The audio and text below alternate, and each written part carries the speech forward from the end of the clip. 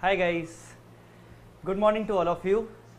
So finally we have resumed our session uh, of business combination and consolidation. This is uh, day 3. This is the third lecture of CA final FR new syllabus. Hi guys. Good morning to all of you. One second. So Yes. So this is the third lecture of CA Final FR new syllabus, business combination and consolidation, quick revision in English, especially for South Indian students. Okay. Hi everyone. Okay, uh, Ankit, hello. Akib, hi. Hope you all are fine and. Uh, there were so many students who weren't uh, who who were uh, they were not aware that why I am not taking uh, continuing with the live classes since one week. So they were just uh, continuously asking me, sir, please upload the third lecture. But actually, the, there was a problem uh, with my health issues.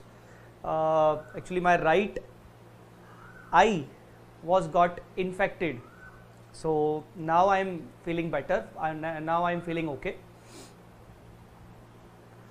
yes all well dear. All well. Suraj ankit i'm good. Uh, there was eye infection on my right eye but now i'm okay. And uh, as you can see now I, my look is also changed right? So yes i'm okay. I just wanted to uh, let you know that now the fourth lecture i will i will go uh, i will take the fourth lecture not tomorrow but day after tomorrow.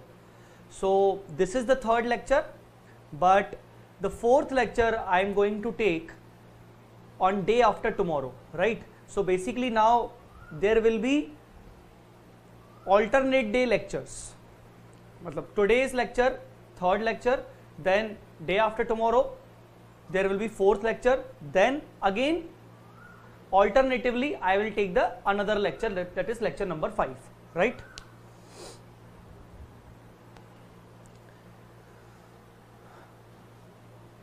Uh, guys my eye problem is now solved. Uh, I, I don't have any issues on my right eye. Basically uh, my right eye has got infected due to insect bite. Yes my right eye was got infected because of insect bite and there was huge pain on my right eye basically. But anyways now there is uh, need to discuss on this topic i think. And uh, thank you thank you uh, malu. Malu is saying your classes are simply awesome. Thank you so much. Okay now shall we proceed guys? Shall we proceed? And uh, i think we need to start with some bit of revision what we have understood till now. Just for a quick revision i'm starting from the beginning just for the quick revision right for the quick revision i'm starting from the beginning okay Akib, how many total lectures will be there? Yes, there will be around 5 or 6 lectures. I can't say right now, there will be around 5 to 6 lectures, right? Okay.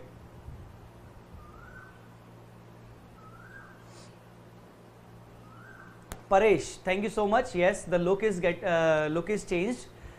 So, just for a change, I thought I need to change my look. Okay. Now, guys, uh, what we have started, first of all, let me revise you in just 5 to 10 minutes quickly. First of all, business combination 103, 110, uh, 110 is uh, consolidated financial statements, right? Ind AS 27 is separate financial statements. Ind AS 27 talks about the accounting treatment of investments in the books of parent company in the separate financial statements of parent company if the investments are in subsidiary associate or joint venture. Which option they are giving? Uh, Ind AS 27 gives you two options. Either you can uh, measure your investments at, at balance sheet date at cost only that is cost model or you can measure it through FVTPL or FVTOCI that is by applying Ind AS 109 you have two options. If you are applying cost model then you can go with the impairment also. If you are not applying cost option uh, if you are applying for fair value model you cannot go with the impairment. Right? One more thing. One more thing. One more thing. Uh, dividend. Ind AS 27 according to Ind AS 27 uh, if we are getting dividend income if holding company is getting uh, dividend income then in that case in that case the dividend income will be transferred to P&L only. Dividend income will be transferred to P&L only right? So whatever dividend income is there we are not required to uh, bifurcate into two parts post acquisition and pre acquisition dividend. No no need to bifurcate the dividend entire dividend will be transferred to P&L only in the books of in the SFS of holding company. Right. Oh. Okay. Now this was Ind AS 27 now come to Ind AS 103 and 110 what is the difference between 103 and 110 110 110 is name is consolidated financial statement. Basically 110 talks about the procedure how you are going to prepare your consolidated financial statements what are the steps you need to take? This is going to be discussed under Ind AS 110 right? So Ind AS 110 concerned about the procedure and the presentation part. As far as the calculation part as far as the measurement part as far as the recognition part Ind AS 103 is concerned. So Ind AS 103 under Ind AS 103 what we are going to discuss under Ind AS 103 measurement of uh, net assets measurement of purchase consideration measurement of non-controlling interest measurement of goodwill or capital reserve and accounting also recognition also. Right? So first of all we have started with 103 primarily. Because all the practical questions are actually involved under 103 only not under 110 110 is basically a theoretical based standard. Okay. Now 103 103 uh, 103 first of all talks about acquisition method in the books of acquirer. Basically 103 applicable uh, applies on acquirer only right? So 103 applies on acquirer only and 103 talks about the acquisition method. We have four steps. Under acquisition method we have four steps. Step number 1 identify date of acquisition right? Identify date of acquisition. I think no identify the acquirer. First first first step was identify the acquirer first of all. We have to identify acquirer. Who is the acquirer? Basically the acquirer is the one who takes the control over another company who takes the control over another company. Right? So basically acquirer is the one who got the control. Second determine date of acquisition. What should be the date of acquisition? You have to determine first of all date of acquisition. Because all the things all the things all the calculations all the initial calculations like calculation of net assets calculation of pc calculation of nci calculation of goodwill or gain from bargain purchase are totally based on date of acquisition. So first step identify the acquirer. Second step second step uh, determine the date of acquisition. Third step very important very important. Can you please tell me third step? Can you please tell me third step? I'm waiting can you please tell me the third one third step? What is the third step for acquisition method? Please tell me. Third step. Third step.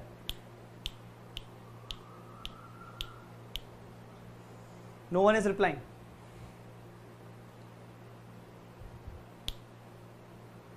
No one is replying no one is replying. Yes recognition. No akib you said pc not pc actually. Third step is to recognize to recognize the assets acquired liabilities assumed and nci involved. To recognize the net assets and nci to recognize and measure. To recognize and measure first of all you have to measure the uh, net assets you have to measure the nci and you have to record it. This is the third step okay? Not the pc guys not the pc recognition and measurement of net assets and nci okay yes. Sony Vishwakarma, identification of assets and liabilities. No, no, no, not the identification. The word is not clear. recognition and measurement. You have to consider the proper wording. Recognition and measurement of net assets and NCI right? Vidya measurement assets liabilities NCI measurement and recognition recognition okay? Yes. And what is the fourth step? Fourth step is recognition and measurement of goodwill or gain from bargain purchase. Gain from bargain purchase or goodwill. So uh, how the goodwill will be calculated? Goodwill will be calculated only when the pc is higher. When the pc is higher or gain from bargain purchase will be calculated only when the net assets are higher. When the net assets are higher. Okay. These are the four steps. Okay. Then then i told you that uh, on acquisition date we need all these four things. We need all these four things. What what are these four things? Uh, first of all we need pc on date of acquisition. We need net assets on date of acquisition as well as on balance sheet date we need nci on date of acquisition as well as on balance sheet date. We need goodwill or capital reserve on date of acquisition only. So we need four items. Basically we need four items on date of acquisition. What are such four items? First of all pc now what do you mean by pc consideration. The consideration means whatever consideration the acquirer company is going to provide the acquirer company is going to provide against getting control. So in pc cash is included which is to be paid immediately. Deferred cash deferred cash that we, that uh, that is to be paid in the future at present value two items. Understood or not? Fair value of any asset given fair, fair value of any shares issued fair value of any debentures issued any contingent consideration right? All these are included in pc the last point of pc was uh, step acquisition it is currently pending I hope I will discuss it today only. I hope I, I am going to discuss this step acquisition today only. Okay. The second step is to identify the net assets. Second step is to identify the net assets. Right. So net assets, how to identify the net asset for this purpose? For this purpose, we need to prepare statement of statement of changes in net assets. You you remember? You remember for the purpose of net assets, we need to prepare statement of changes in net assets. Statement of changes in net assets, particulars, date of acquisition, date of acquisition, changes and balance sheet date. You remember uh, basically how we calculate the net assets? We calculate the net assets by considering equity capital and other equity. Other equity means basically the reserves and surplus, equity capital and other equity. So we prepare a statement of changes in net assets and we identify the net assets on date of acquisition based on time adjustment if required, based on time adjustment of reserves and surplus if required. Understood? Okay. Then the third is NCI, non-controlling interest. The third one is NCI, non-controlling interest. Who are non-controlling interest? Non-controlling interest, non-controlling interest means if the shares of a company are not directly or indirectly held by holding company or parent company and share those shares are held by the parties other than holding company then such parties are known as non-controlling interest. They are not having any control but they are having sharing over the profits and net assets of the company. Guys okay where we show uh, nci in the balance sheet can you please tell me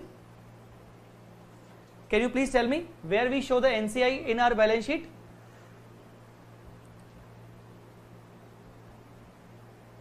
Where we show our NCI in our balance sheet? Where we show our NCI in our balance sheet? Can you please tell me? NCI is shown in the consolidated balance sheet where? Under which head? Tell me under which head or where it is to be shown on the asset side or on the liability side. If on the asset side, then where? If on the liability side, then under which head?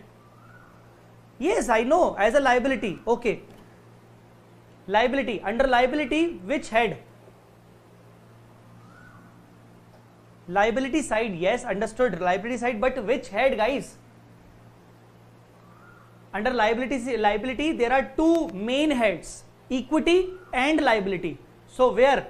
NCI is to be shown under equity. Now under equity there are two heads equity capital and other equity. NCI is to be shown as under other equity so remember NCI is shown under other equity not the financial liability wrong Nandini wrong liability side under separate heading lucky no Ramya, other equity, yes. Paresh Pawar, shareholder fund, yes. Basically, the important is NCI is shown under equity, head, other equity, and separately. Other equity separately. Guys, understood or not? Other equity separately, yes. Okay, so NCI. How to calculate NCI? There are two methods to calculate NCI. First is partial goodwill method which is also known as proportionate net asset method and the second one is full goodwill method which is also known as fair value method. So first method partial goodwill method, partial goodwill method or proportionate net asset method. How to calculate NCI based on proportionate net asset method? Basically whatever net assets you have already calculated from this whatever net asset value you have already calculated from this you just need to apply the percentage of NCI on this net asset you will get your NCI, proportionate NCI. Okay, this is also called as partial goodwill method. And how to calculate fair value method? How to uh, how to calculate NCI by fair value method? Basically, the NCI is calculated by fair value method by multiplying the NCI number of shares with the market price per share on the date of acquisition. Market price per share on the date of acquisition. And if the market price is not given then also you can calculate the fair value by how uh, by dividing the value of investments on a proportionate basis. Dividing the value of investments on a proportionate basis. For example the investment value of holding company is 8 lakhs. And uh, 80% acquired by holding company then 8 lakh divided by 80% into 20% this will be the fair value of NCI okay great very good very good very good okay so this is called NCI. Last is goodwill or gain from bargain purchase. What was the formula for goodwill or gain from bargain purchase? What was the formula for goodwill or gain from, gain from bargain purchase? Basically what we do is investments, investments plus NCI, investments plus NCI, investments plus NCI then? Investments plus NCI minus 100% net assets. Investments on date of acquisition, NCI on date of acquisition? And 100% net of net assets on the date of acquisition. This is called goodwill or gain from bargain purchase. This is called goodwill or gain from bargain purchase. Understood guys? Okay. If there is goodwill if there is goodwill then transfer to balance sheet asset side under non current assets if there is gain from bargain purchase through OCI of current year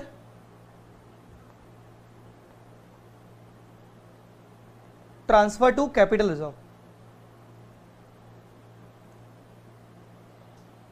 other equity, right? Guys, understood or not? Okay. One more thing. I have told you that while calculating PC, you don't need to add any acquisition cost. Understood or not? Any transaction cost any acquisition related cost. All the acquisition related cost like stamp duty any transaction cost will be directly transferred to the profit and loss account of holding company because they are not going to be paid to the acquiree to the acquiree. Whatever you are paying to the acquiree shall only be part of uh, shall only be a part of pc if any amount is uh, required to be paid to any person other than acquiree that is not to be included in the PC. That is not to be included in the PC. That is to be transferred to the P&L directly. Okay. Non-controlling interest. Method 1, method 2. Okay. Yes, this was your homework. Types of NCI. This was your homework. Types of NCI. Have you have you read this? Types of NCI, qualifying NCI and non-qualifying NCI. Qualifying NCI and non-qualifying NCI. Have you read this qualifying NCI or non-qualifying NCI? Qualifying NCI. Qualifying NCI. What do you mean by qualifying NCI, guys? What do you mean by qualifying NCI?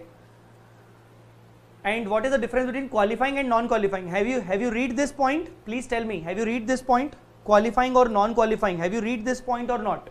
Qualifying NCI or non-qualifying NCI? Have you read this point or not? Have you read this point or not?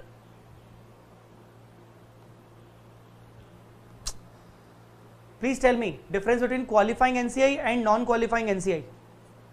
Please, can you please guys tell me the difference between qualifying or non-qualifying NCI?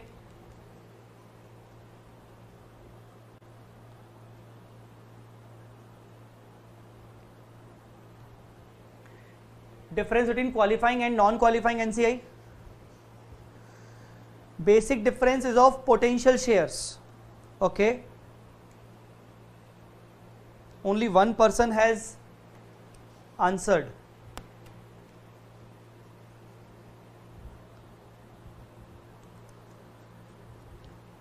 Tell me, qualifying NCI and non-qualifying NCI. Non-qualifying NCI includes potential shares. Paresh, Arjun Lal, yes sir, yes sir. I need the answer. What do you mean by, what is the difference between qualifying and non-qualifying NCI?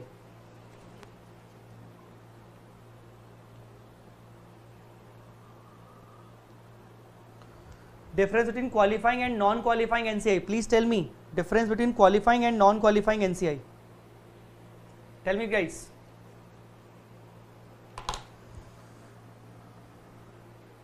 Potential equity shares like convertible shares. Yes, basically if we talk about qualifying NCI, this one, if we talk about qualifying NCI, qualifying NCI means, qualifying NCI means what? Qualifying NCI means the original equity shareholders. Basically, suppose there are 1 lakh original equity shares issued by subsidiary company in the market. There are total outstanding equity shares of subsidiary are 1 lakh.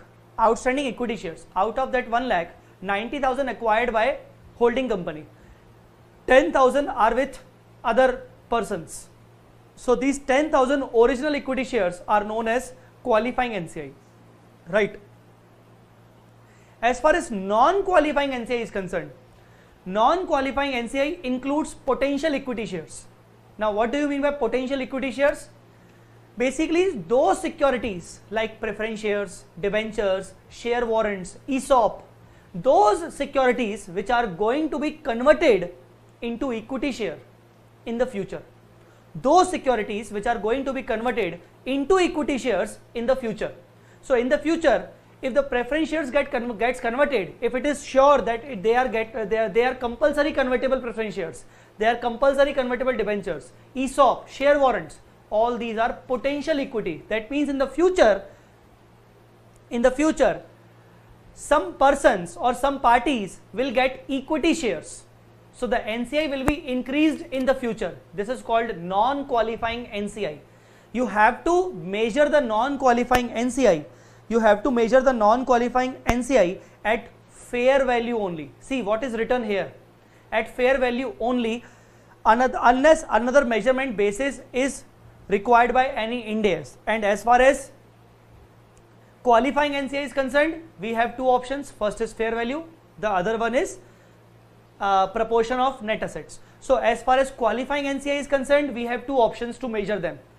Either we can measure at proportion of net assets or measure at fair value method. But as far as non-qualifying uh, non-qualifying NCI, you have to follow only and only fair value basis. Now what is written at fair value only unless another measurement basis is required by Ind AS like suppose there are ESOP. Now ESOP, ESOP are uh, are also known as qualifying NCI. You have announced ESOP for your employees. In the future, they will get the equity shares, so they will become the NCI. Understood or not? So, for ESOP, Ind AS 102 applies. Understood or not? ESOP for ESOP, Ind AS 102 applies. So, for calculation of ESOP NCI, we can measure it at as per 102. Great. Okay. So these are the qualifying NCI, qualifying, non-qualifying. Negative NCI. Can there be negative NCI? Yes. The answer is yes. There can be a negative NCI. Why? How? If there is a negative net asset, there can be a negative NCI. If there is a negative net asset, there can be a negative NCI. So finally, this is the this is the uh, this is the formula. First of all, you have to uh, cost you have to consider the cost of investment then add non-controlling interest then less I, uh, 100% net assets okay one more point we have discussed in the last session was preparation of preparation of a statement of changes in net assets why we prepare this statement of net changes in net assets? Why we prepare this statement? Just to calculate the net assets value on date of acquisition.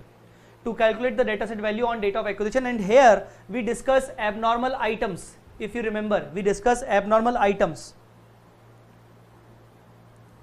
We discuss abnormal losses abnormal it items that we have to first uh, first of all add back the abnormal loss or less the abnormal gain in the change column so that we can get the normal profit. Uh, uh, right or not we, uh, so that we can get the normal profit. Then for the uh, we have to make the time adjustment for normal profit. We have to make the time adjustment for normal profit.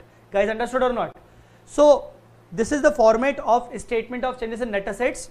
Under a statement of changes in net assets we make the format in three columns. First is date of acquisition the next is change column. Third is balance sheet date column. Right?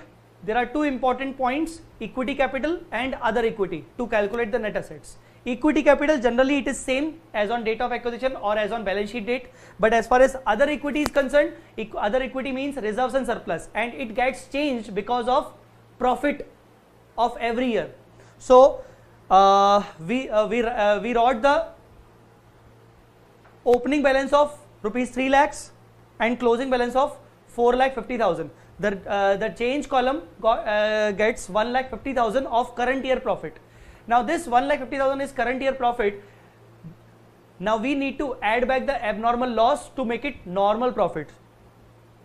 To make it normal profit. Because always we assume for making time adjustment, always we assume, always what we assume, we assume that for time adjustment, normal profit is evenly occurred throughout the year. That means every month the profit will be equal. So for this we need to first of all add back abnormal loss or less back abnormal profit so that we can come up with normal profit. On normal profit you have to apply time adjustment accordingly. After time adjust apply application of time adjustment again you have to restate your abnormal loss or abnormal gain from where it is actually occurred. It is actually occurred right and then you will get your net assets on date of acquisition. This is the date of acquisition column you will get your net assets on date of acquisition and you will get another uh, change column answer which is to be apportioned between holding company and minority. Guys understood or not? Okay.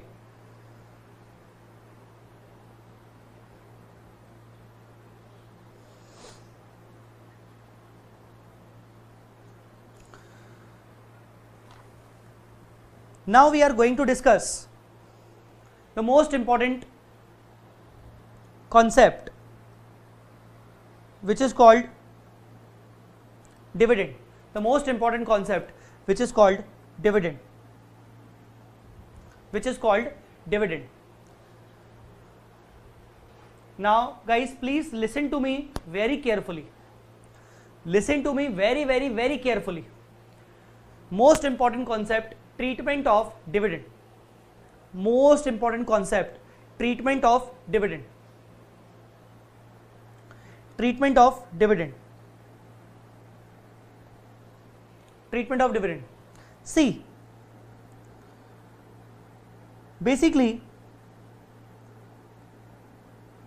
time adjustment i am going to talk about on time adjustment. Time adjustment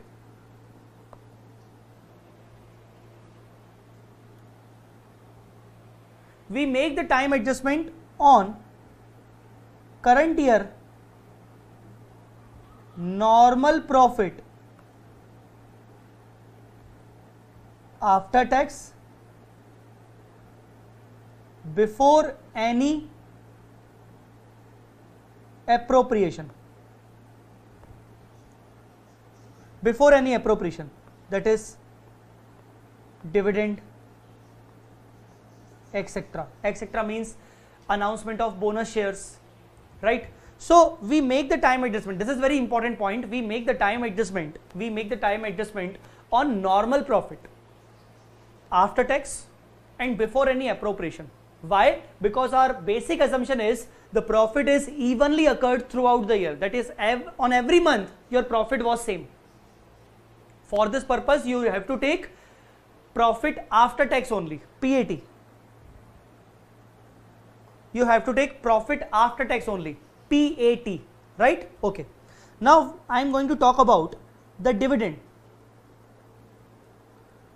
paid by subsidiary company during the year. Dividend paid by subsidiary company during the year. What is the journal entry? Can every can anybody tell me guys i am waiting for your answer. Can you please tell me what is the journal entry of making payment of dividend or announcement of dividend or declaration of dividend?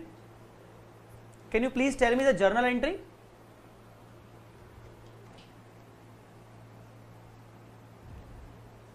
Tell me journal entry of dividend. Tell me guys journal entry of dividend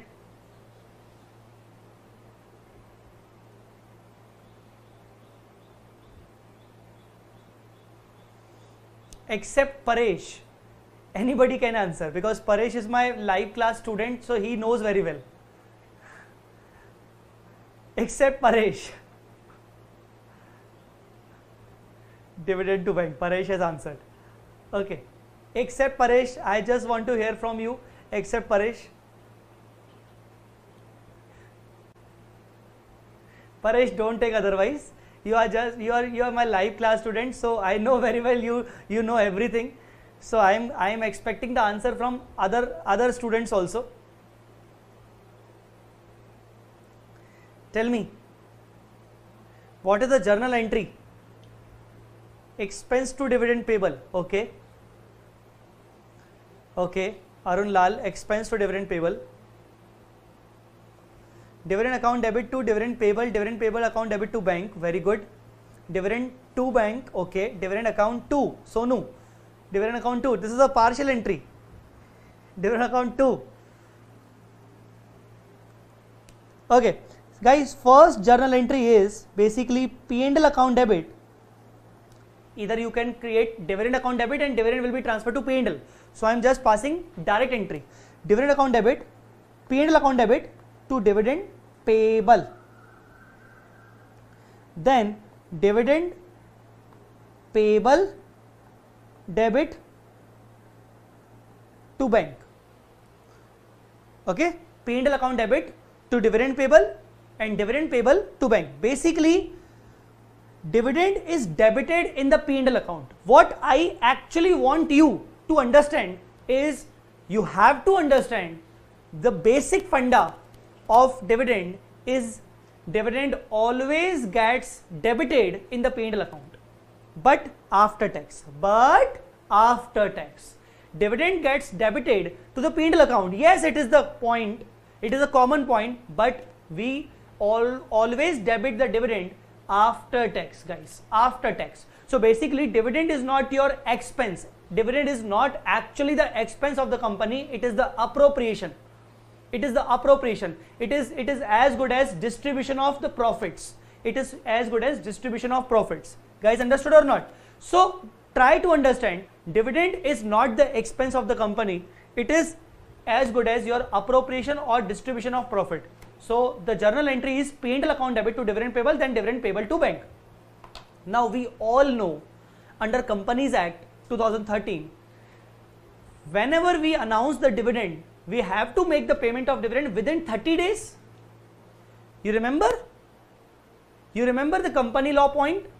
Whenever we announce the dividend, after announcement or after declaration in AGM, we have to make the payment within 30 days.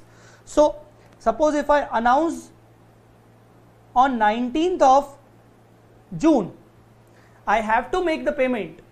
I have to make the payment till 19th of July. Payment till 19th of July. Guys, understood or not? I have to make the payment till nine uh, uh, within 30 days. Guys, understood or not? Okay.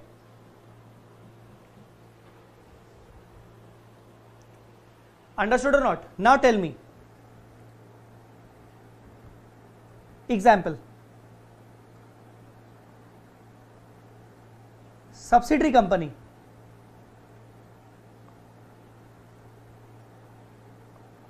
Other equity, basically it is your reserves and surplus. Balance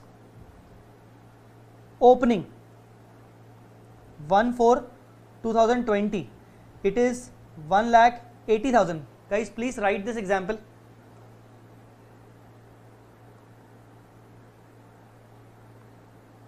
other equity reserves balance closing.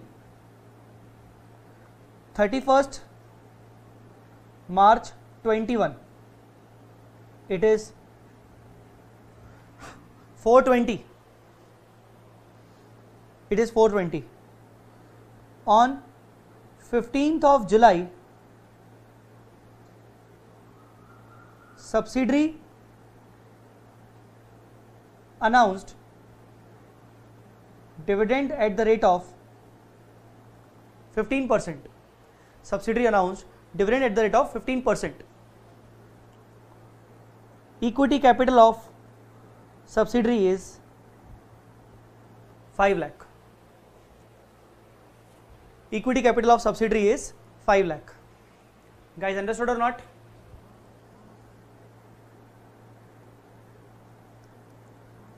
There is an abnormal gain of 6000 on 1st of December 2020 date of acquisition is 1st of August sorry 1st of June. Investment is 4 lakh 80,000 80 percent. This is the example. Please write down this example. Please write down this example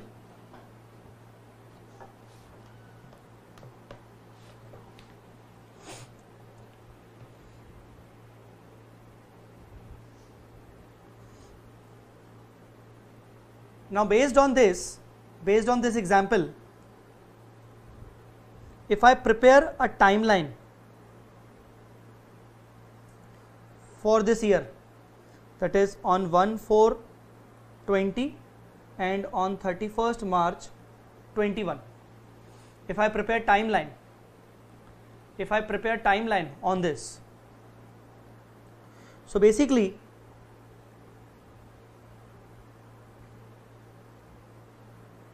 my date of acquisition is 1st of June. 1st of June my date of acquisition. See on 15th of July we announced the dividend. Dividend is declared. Obviously for the obvious reasons it is to be paid within 30 days. Definitely it is to be paid within 30 days. That means if the dividend is declared on 15 July, it must be paid within 14th of August. So 14th of August paid dividend within 30 days.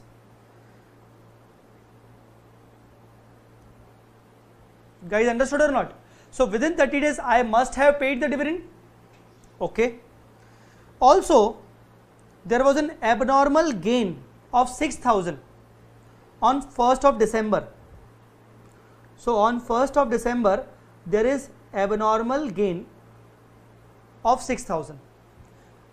Sir, will it have any impact in CFS? Any simultaneous debit and credit of P&L is there? Suraj, the same point I am going to discuss for dividend. I am going to discuss everything for the CFS purpose only, dear. So please have some patience. Just ask your doubts after the uh, discussion becomes over. When I will complete the discussion on dividend, then you can ask your doubt because I am going to discuss each and every point of dividend as far as the CFS is concerned. Don't worry.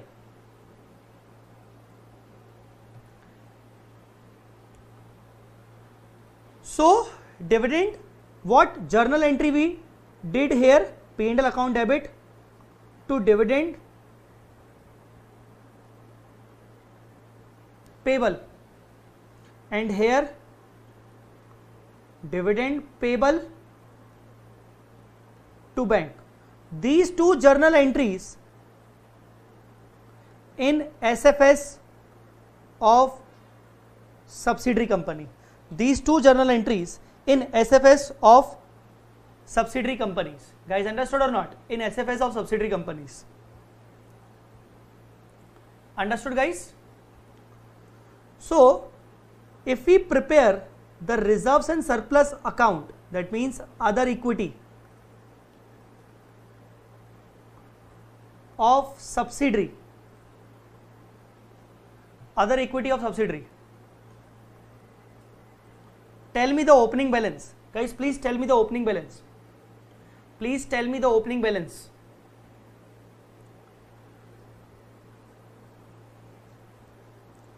Tell me the opening balances. Tell me the closing balances. Tell me the opening balances. Tell me the closing balances. Please.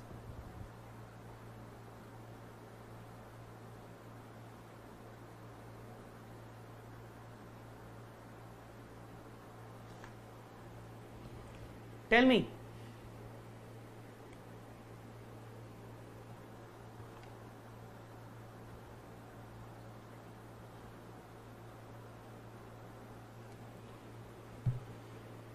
Opening balance. Opening balance is 180 closing is 420 paresh you also can answer don't worry.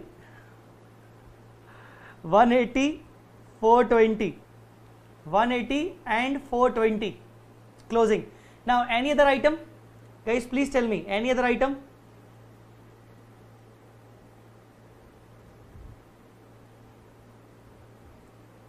Any other item? Tell me any other item? Any other item?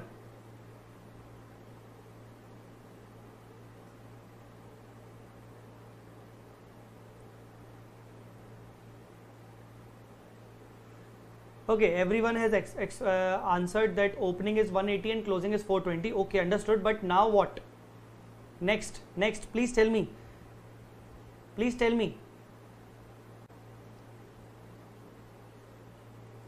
dividend dividend yes. Dividend of 15% 15% on the share capital. So 15% on share capital how much it is? 75000 i think.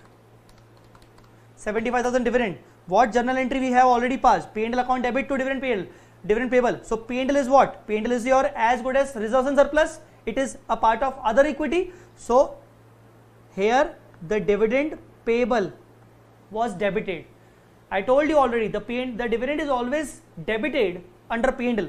So here we have debited dividend of 75,000. Guys understood or not? Now tell me what would be the balancing figure? What would be the balancing figure? Tell me what would be the balancing figure?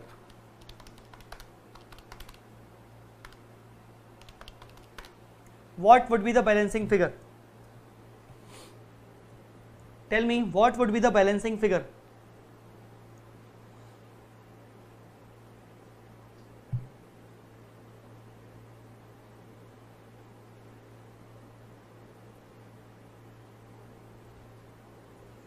what would be the balancing figure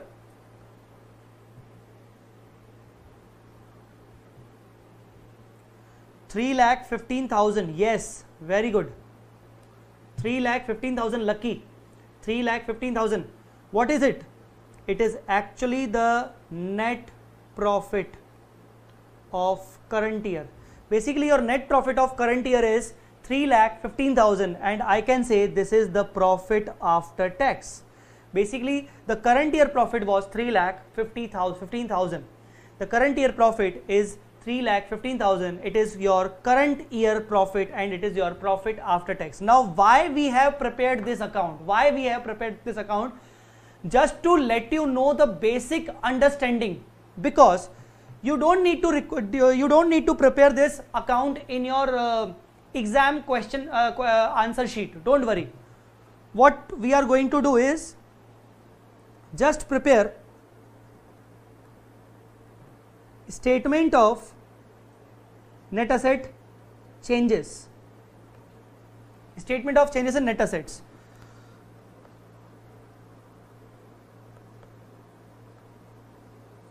Particulars. Particulars. Date of acquisition.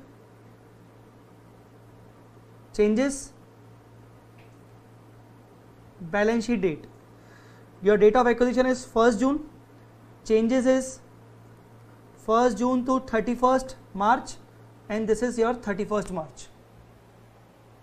Now first of all equity share capital your equity share capital was 5 lakh we can assume that it is 5 lakh on the opening date as well as on the closing date as well as on the 1st June. So there is no change in equity capital but as far as your other equity is concerned what was your opening balance of other equity? The opening balance of other equity, the opening balance of other equity was 1 lakh 80,000. Your opening balance was 180 as on 1 4. And what was the closing balance of other equity? Basically, it was 4 lakh 20,000. Basically, it was 4 lakh 20,000.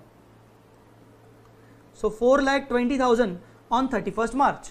So basically the difference between 180 and 420, 180 and 420 is 240. The difference between 180 and 420 is 240. 240 is what? 240 is from 1 4 to 31st March. Now basically this 240 is the earning of the current year is it actually the earning of current year? Is it actually your profit after tax? Are you sure it is profit after tax?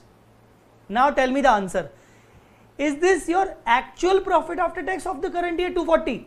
Is your actual it is is it your 240 actual profit after tax? Tell me.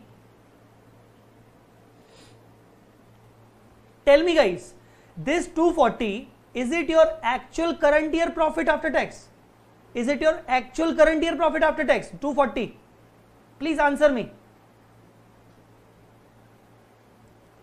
We got 240 as the balancing figure and we can assume it as current year profit because we have to make the time adjustment.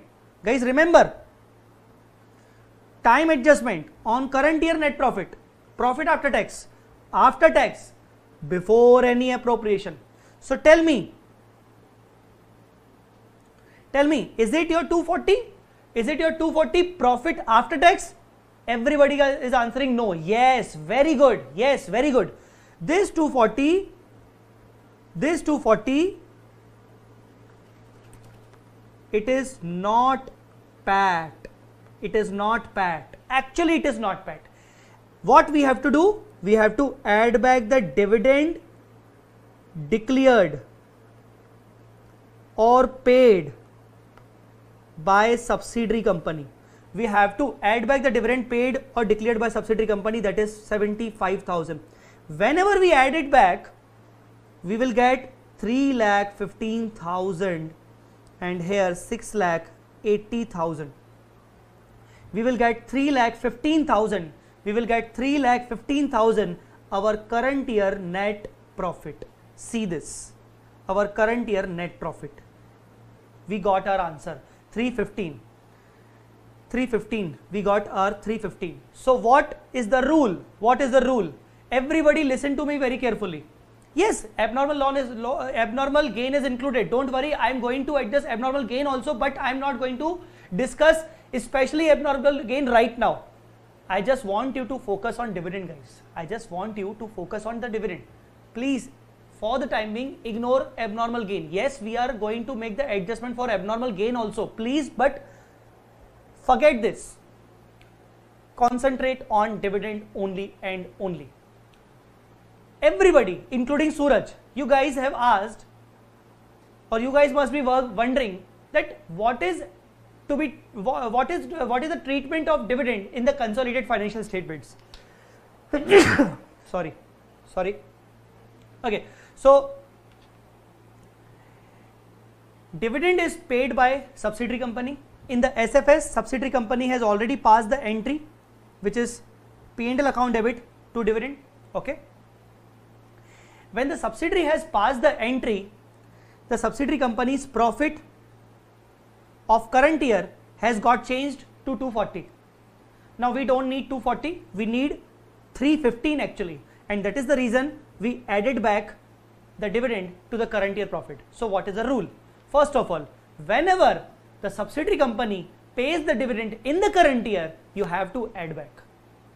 Rule number 1 step number 1 you have to add back the dividend in the change column. You have to add back the dividend in the change column. You have to add back the dividend in change column. Sir why we are adding back? Because we need current year net profit after tax. Current year net profit after tax. Current year net profit after tax. We need current year net profit after tax. If we are not going to add back the dividend we will not get back we will not get our current year net profit after tax and we cannot make the time adjustment. So basically for making time adjustment you need profit after tax and sh- it should be before appropriation that is before dividend and hence we have to add back the dividend. So first step is to add back the dividend. First step is to add back the dividend. Guys understood or not? Tell me understood or not? I hope you all have understood. So now i got the current year profit after tax but it is also before abnormal item. So what you need to do is minus abnormal gain which is 6000 which is 6000 minus. Sir why minus? Abnormal gain was earlier added to your profits. Now we are deducting it so that it becomes a normal profit. So 680 309 what is this? This is your normal profit after tax. So make the time adjustment time adjustment please guys make the time adjustment. 3 lakh 9000 into 3 lakh 9000 into 2 divided by 12 sir why 2 april may. Just 2 months. Just 2 months. April may. Just 2 months. So 3 lakh 9000 into 2 divided by 12 it is your 5 lakh uh, sorry 51500 731 500 731 500 yes paresh you got the answer i know. 731 500 309 minus 51 500 257 500 now whatever abnormal gain you have deducted after time adjustment you just need to restate. Now add it back again abnormal gain. Sir where from where? Abnormal gain. From where? Abnormal gain. From where? Susan matthew. Yes. Tell me everybody abnormal gain from where we have to add it back? Where we have to add it back? Where we have to add it back? Tell me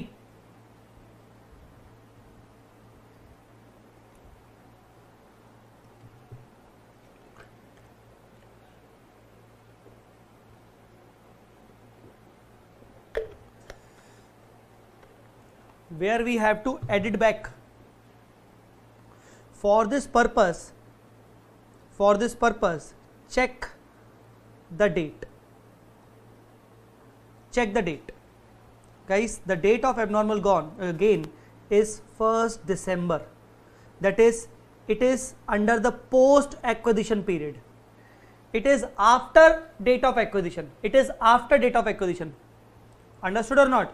The date of abnormal gain is 1st december. So tell me you have to write here 6000 post profit post profit in changes heading in changes heading. Very good very good. 731 500 257 500 plus 6000 263 500 finally this is your 100% net assets as on date of acquisition and you have to bifurcate this. You have to bifurcate this. Holding 80% NCI 20% 2 lakh 10,800 52,700 52,700 now some of the students must be thinking that sir you have just added the dividend first of all to make the time adjustment. Now after time adjustment, where is the dividend? Why you haven't deducted back again? Some of the students might be having some doubts or some queries that sir, you have added the dividend. Okay, understood because we need current year net profit after tax before dividend. Okay, sir. But sir, after making time adjustment, just like abnormal gain, first of all you have deducted the abnormal gain, then you have added it back again in the same way, sir, why you haven't deducted uh, the dividend also after time adjustment? Some of the students might be thinking this, that sir, we need to deduct it again the dividend. Some of the some of the students must be thinking that, sir, why we haven't deducted the dividend again. So I am pending your I am making pending your queries. Don't worry, we will discuss it in few minutes. In few minutes we, we will discuss it. But just need to understand this first of all. This is your statement of changes. This is your statement of changes where you have added the dividend. You have added the dividend. Guys understood or not? You have added the dividend. Tell me guys, have you got have you understood the uh, the treatment here? I have just discussed 50% portion of dividend only.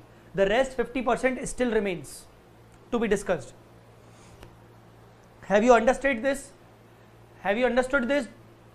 I have just discussed 50% portion of this dividend only. The remaining 50% is yet to be discussed now.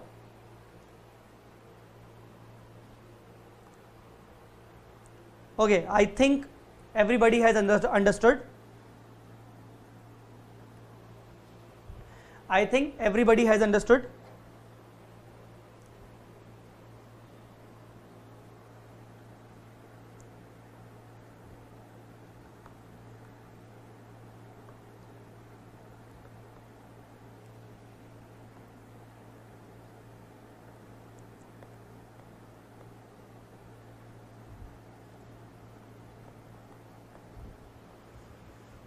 Yes, great.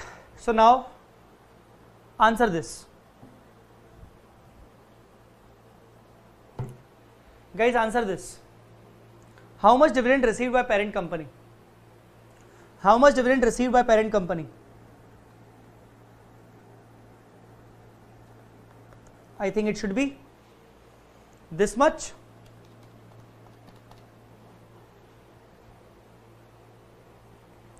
it should be this much that is 60,000 received by parent company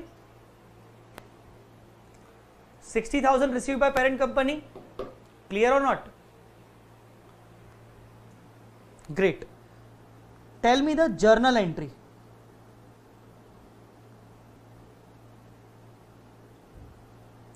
Tell me the journal entry in the books of in SFS of parent company. In the SFS of parent company, what should be the journal entry? In the SFS of parent company, what should be the journal entry? What should be the journal entry? What should be the journal entry?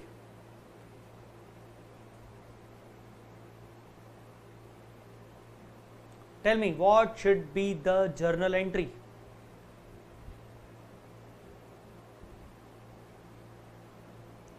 Bank account debit to dividend okay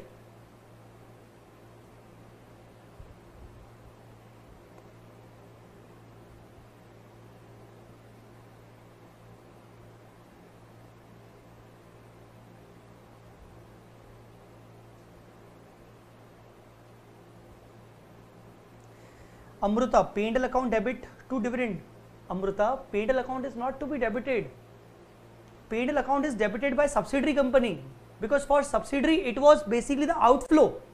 For holding it is the inflow. P&L account is not to be debited dear.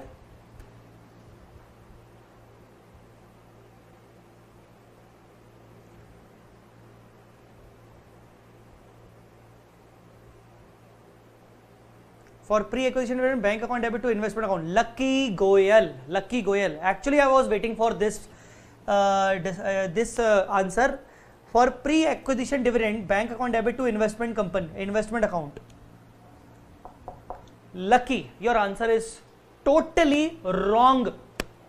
Because earlier in the same class today only i have just told you as per ind AS 27 ind AS 27 remember the first session I have took for Ind AS 27, I told you that Ind AS 27 also talks about the treatment of dividend income if the dividend income is received by the parent company and it says the entire dividend income is to be charged to the profit and loss account only. We don't need to bifurcate the dividend income between pre and post. We don't need to bifurcate the dividend income between pre and post. I told you in the current session only.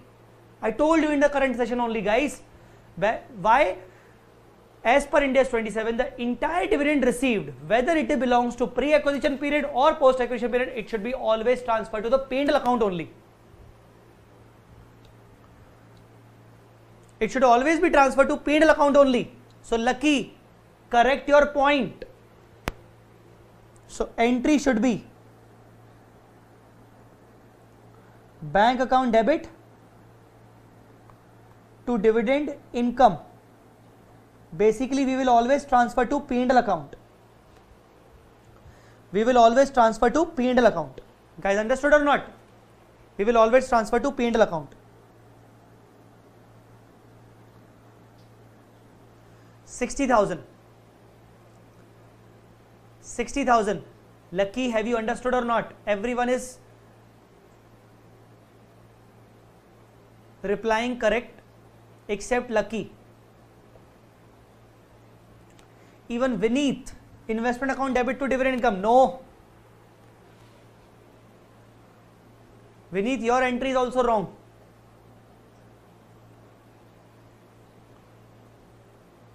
Vignesh, dividend to P&L. Obviously, dividend account debit to P&L.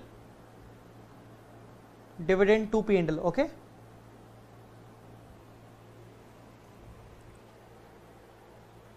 So guys, why I am discussing this entry in the books of SFS of parent? See, parent has got the dividend. So on on 14th 8 because on 15th of July they announced the dividend and within 13 within 30 days the dividend has been paid. So on 14 8 2020 parent company has got the dividend has got the dividend. Lucky understood, Vineet understood. Very good, guys. Okay, so on 14th 8, on 14th August, on 14th August, parent company has already received the dividend and please make your point clear that the dividend has already been charged to P&L. The dividend has been already charged to P&L guys understood or not? The dividend has been already charged to P&L. Now see making some calculations.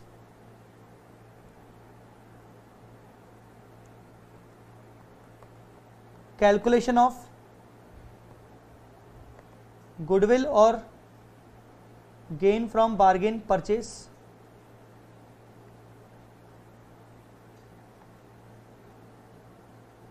Investments I think 480 plus NCI at the rate of 20 percent. For example 20 percent of 7 lakh 31,000 for example we are taking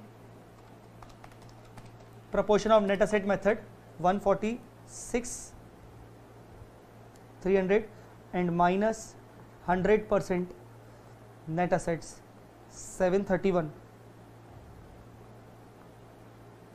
500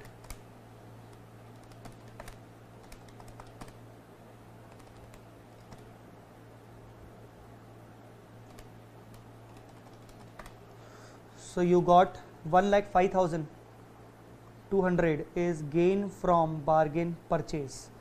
That is capital reserve. This is the first. Guys understood or not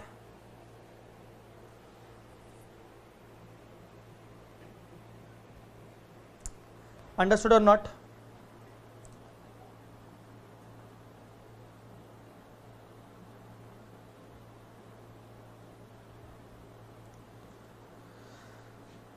Now the next calculation is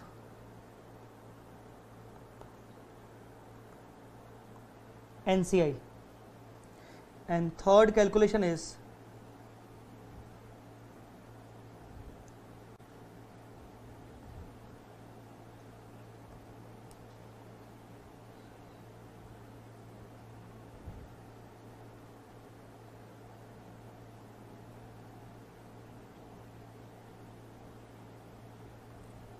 okay NCI calculation. NCI as on date of acquisition 146 300 plus. Now guys see this.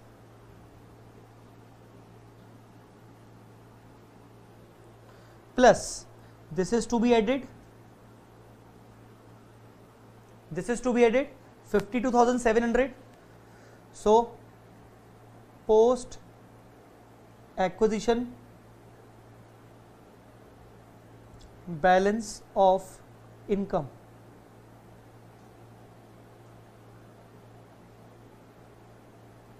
Fifty-two seven hundred.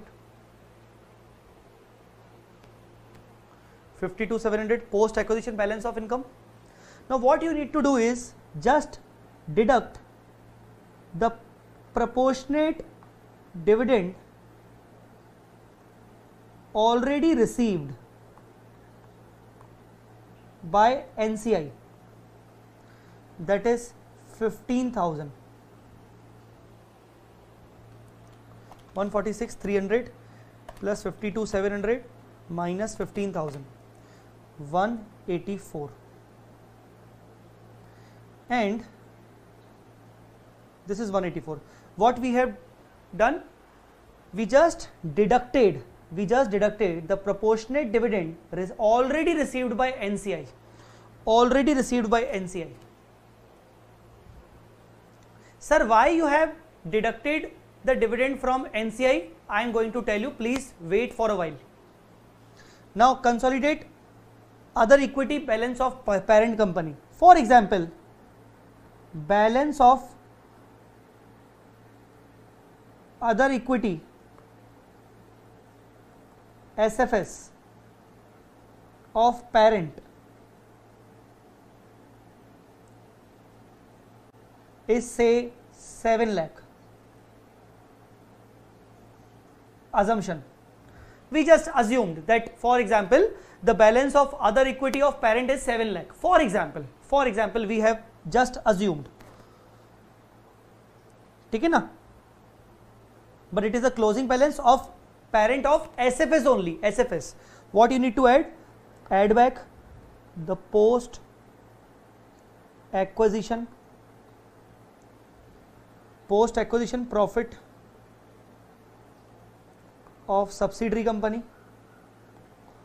Post acquisition profit of subsidiary company that is 2 lakh 10800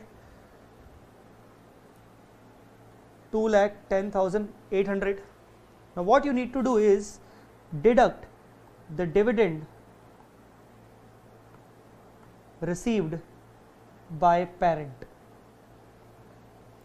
Deduct the dividend received by parent company. How much? 60000 60000 60000 7 lakh 210 800 minus 60 850 800 sir why you are deducting the dividend from NCI and from here? Why you are deducting the dividend? See now I am going to discuss the entire point. See guys first of all what we did if the dividend is announced by subsidiary company if the dividend is announced by subsidiary company what you need to do is first of all add back the dividend. First of all add back the dividend before making time adjustment and add it back only to the changes column.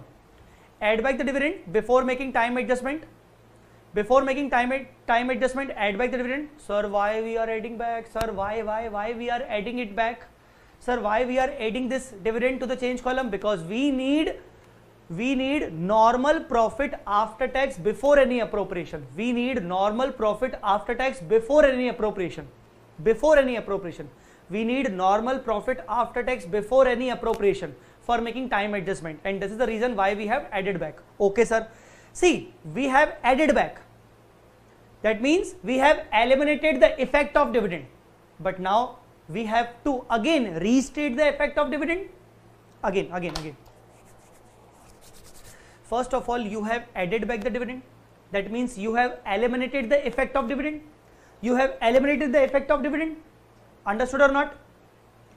But actually the dividend is being paid now the actually dividend is being paid. So for making time adjustment you have you have added back the dividend. Okay understood. You make the time adjustment now. Okay. You make the time adjustment. Clear but after making time adjustment you have to again the rest again you have to again restate the effect of dividend now so how you have to restate? First of all when you have added back so now you have to deduct it. So directly deducting the proportionate dividend from NCI and the proportionate dividend from the parents SFS, parents reserves and surplus, directly deducting from this and from this NCI. Sir, why? See guys, when you have added back the dividend, your current year profit got increased. Your current year profit got increased. That means your change column got increased. If your change column got increased because of adding back the dividend, your final answer got increased your final got answer got increased again again if you have added back the 75000 dividend in the change column your final answer of change column has been increased. And if your final answer of change column has been increased the 80% portion has been gone to holding company and the 20% portion of that gone to NCI so technically, this 2,10,800 and this 52,700 includes the effect of dividend also because you have added the dividend. You have added 75,000 dividend. So 80% uh, of 75,000 is already included in this 2,10,000 and 20% is included in this 52,000, 52,700. Uh, so if the 7, uh, 80% portion of dividend 2 lakh 10,800 is included is included so I can say I can say this includes 80% dividend also.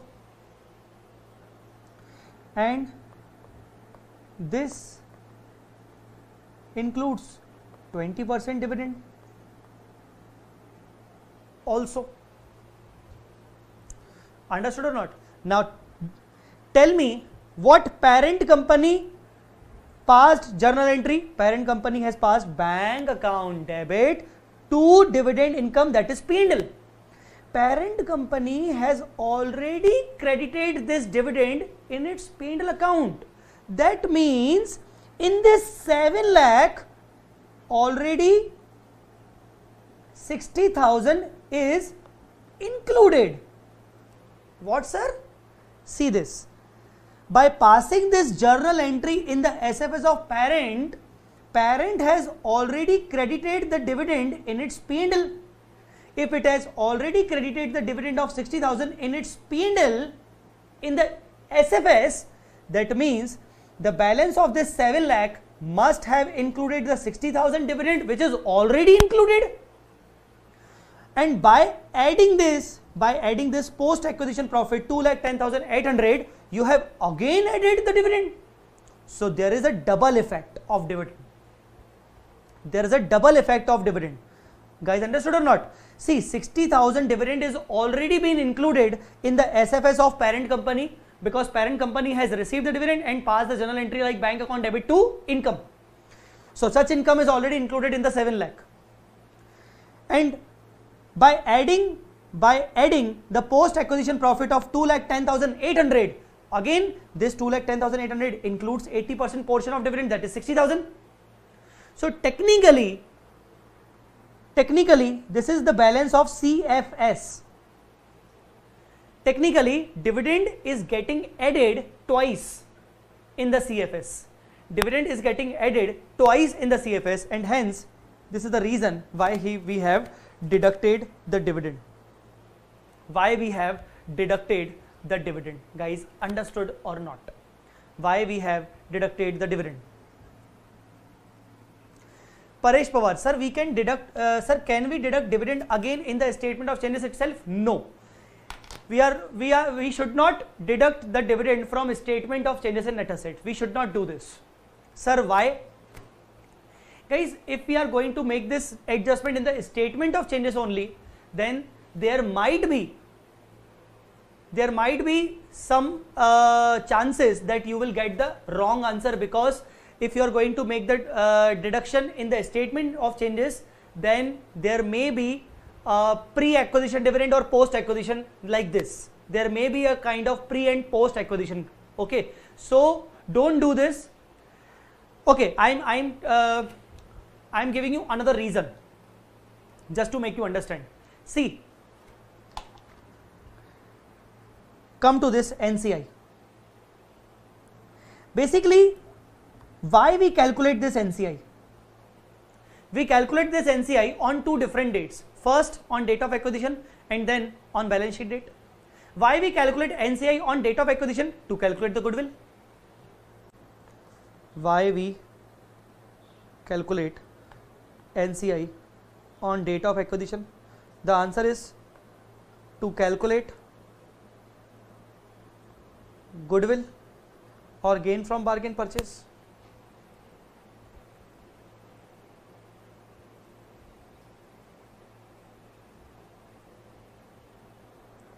Why we calculate NCI on balance sheet date? Can you please tell me why we calculate the uh, NCI on date of balance sheet?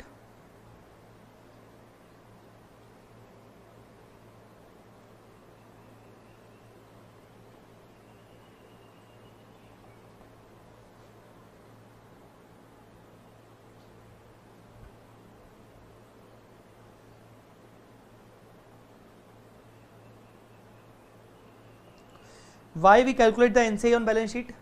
Please tell me why we calculate NCI on balance sheet date why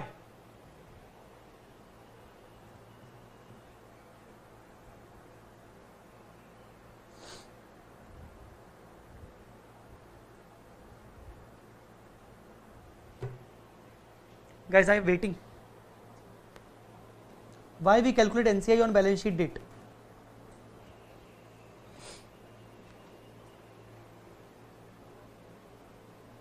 i'm asking why not where.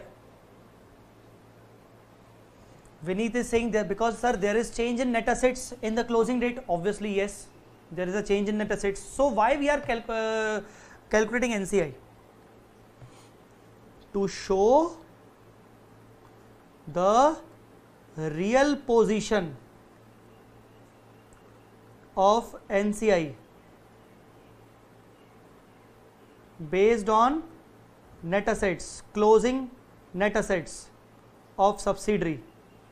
So that parent can show it as actual liability. Subsequent measurement suraj very good. To know how much value of minority interest yes because just to show the real position of nci now suppose if i am not deducting this if I am not deducting this dividend. So I will get 146 300 plus 52 700. Basically, I will get my answer as 199. If I am not going to deduct this 15,000, so I will get my answer 199. Guys, understood or not? I will get my answer 199.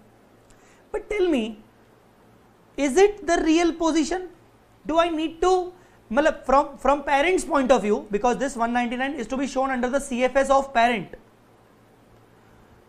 So from parent's point of view do i actually need to pay 199 no. Out of 199 we have already paid 15000 in the form of dividend. We have already paid 15000 in the form of dividend because 52700 was the current year profit was the was the profit of post acquisition period but out, uh, but out of that you have been paid already 15000 rupees. You have been paid already 15000 rupees. So technically I, we have already paid you 15000 so what is the real position? Your real position is 184 in the same way here it is. When we are not deducting here when we are not deducting here is this the actual position? No, you have already got the dividend of 60,000. So you need to deduct. You need to deduct. Understood or not? You need to deduct. One more reason. Have you heard about intercompany adjustment? Intercompany adjustment. In our IPCC days, amalgamation was a chapter. Inter, uh, intercompany adjustment. In your books, debtor is being shown in, in my name. And in my books creditor is being shown in your name. So it is being cut off in the consolidated books. Have you heard about the intercompany adjustment? Please tell me. Have you heard about the intercompany adjustment? Please tell me. Intercompany adjustment. Tell me guys. Have you heard about the intercompany adjustment? Debtor creditor cut off contra entries tell me guys I am waiting for your answer.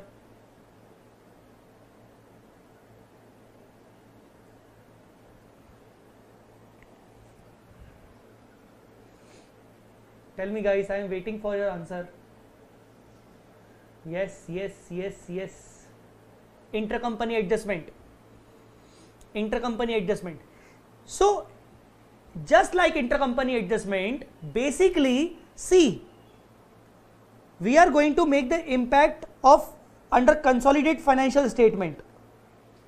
So, if the dividend is paid by subsidiary company, that means for subsidiary it is expense and received by parent company. So, for parent company it is income. So, for one company, for one company it is expense and for another company it is income. So, ultimately in the consolidated financial statements it it should be it should be net off. So basically this is the reason why we have deducted this dividend from here. Just to eliminate the intercompany adjustments. Just to eliminate the same kind of income and expense. For subsidiary dividend is shown as expense because subsidiary company has debited the P&L for For uh, parent company, parent company has shown it as income in its SFS. So basically, subsidiary has shown expense in the SFS and parent company has shown income in the SFS. We need to make the time uh, make the net off contra intercompany adjustment. So this is the reason why we have deducted 60,000. Guys, understood or not?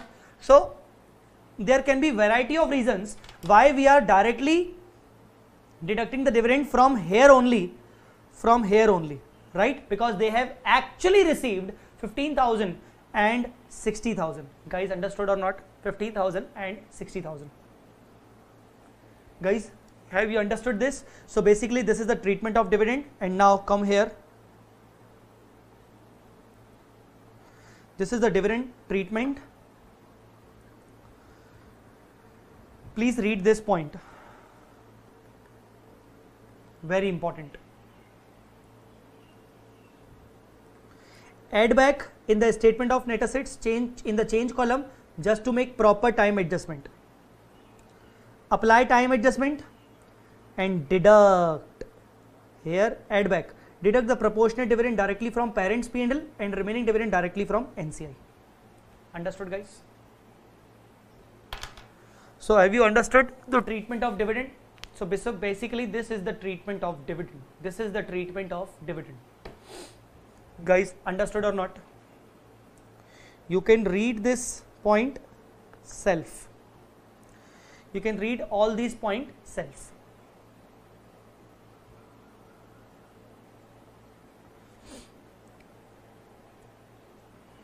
Okay.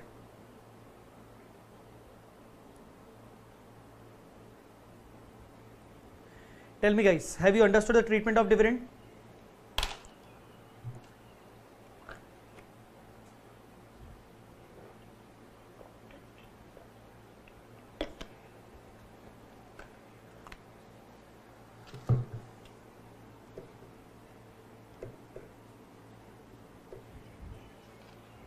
So kindly, uh, guys, we have done with the treatment of dividend. What you need to do? Dividend, as far as subsidiary is concerned, subsidiary has already paid. P&L has been debited. You need to make the time. Uh, you need to add it back before making time adjustment. Now you have added back. Okay. Uh, after making time adjustment, proportionate dividend will be deducted from NCI directly, and proportion the remaining dividend will be deducted from the P&L uh, of parent company directly.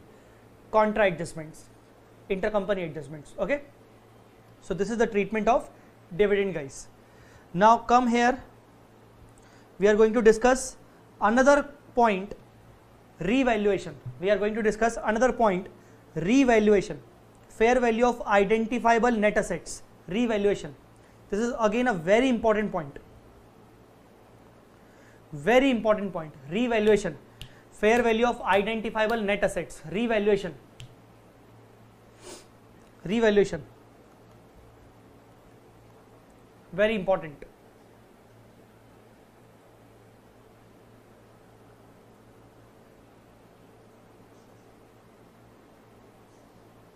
Okay.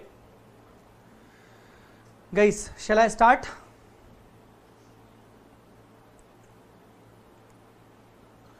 Shall i start discussion on revaluation please let me know. Please type yes sir. Continue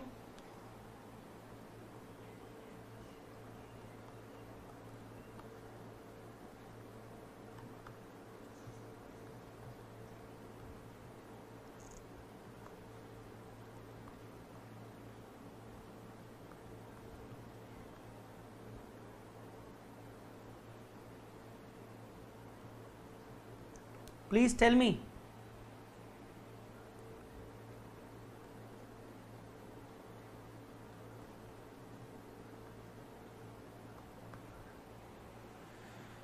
Okay.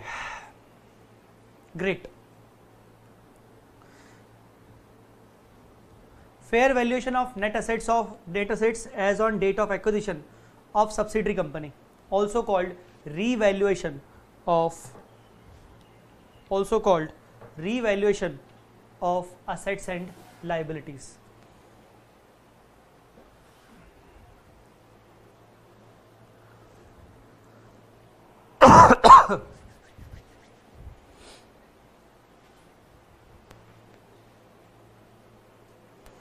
also called revaluation. Okay, see guys.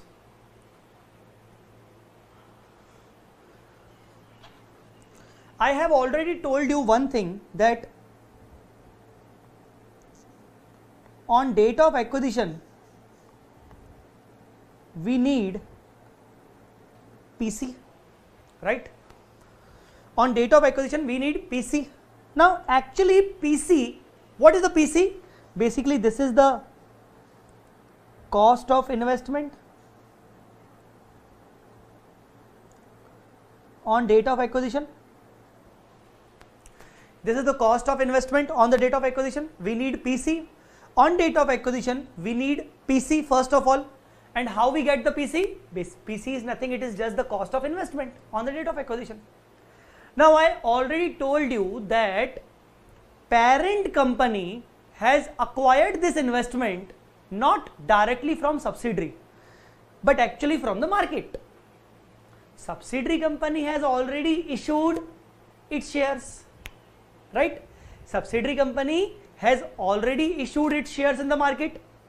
So, if the parent company has acquired the shares, it has acquired the shares from the market.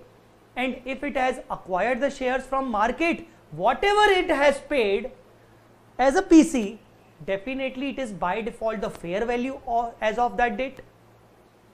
So whatever amount of PC parent company has paid to acquire the investment, definitely the uh, that amount will be by default the fair value on the same date. So technically by default it is at fair value. FV here means fair value, not face value. So, guys, try to understand. Our problem is not in PC because PC is already at fair value. Understood or not? So, second thing we need is net assets of subsidiary company. Second thing we need is net asset of subsidiary company on date of acquisition. Guys, can you please tell me how we will get this? How we will get this? We have already discussed so many examples, so many questions till now. So now please tell me how we get the net asset value of subsidiary company on date of acquisition. How we will get? How we will get the net asset value of subsidiary company on date of acquisition? Tell me. Uh, Nandini, sir, can you please show the treatment of dividend in SOKI? Nandini, can you please uh, ask your doubt or this this doubt because all, I already started the revolution another topic. So can you please uh, make your doubt as pending and you ask your doubts after uh, completing this session at, in the last of this session. I'll, I'll tell you the answer. Okay, na? So Nandini, just concentrate on the uh, particular on the present topic. I will tell you the answer. Please ask your doubt at the end of this session. Statement of changes से मिलेगा sir. Share capital plus is a very good. Paresh and Deepu John both are very good. Equity plus other equity, Susan very good. Equity and reserve and subsidiary, yes, very good. Great, guys. Everybody, please answer.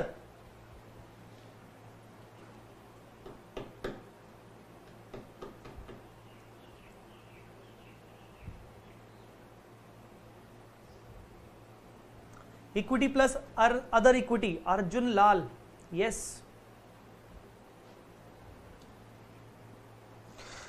so you have you guys are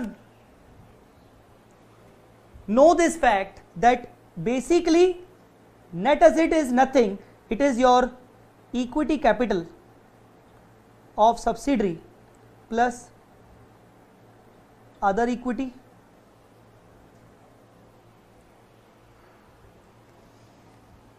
from a statement of changes yes actually from a statement of changes now tell me another question tell me the answer of another question from where you got this I am asking from where we pick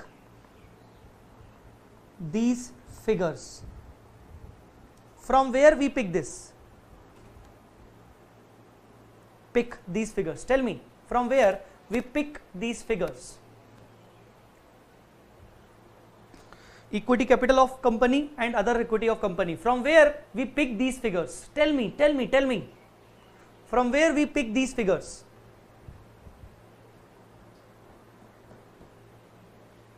From where we pick these figures? Tell me, guys.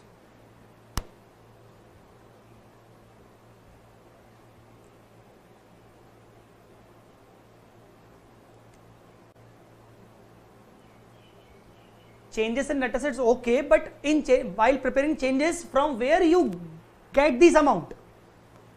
SFS of subsidiary company. So, son, yes. Balance sheet, Arjun Lal, yes. Lucky, balance sheet of yes, very good. Susan, Arjun, Lucky. Great.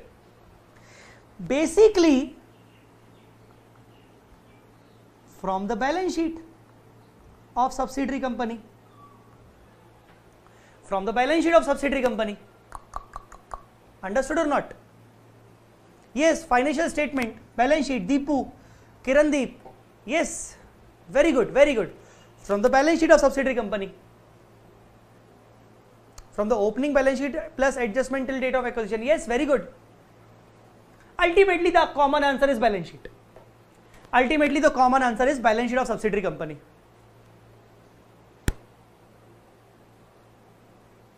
ultimately the common answer of balance sheet Understood or not?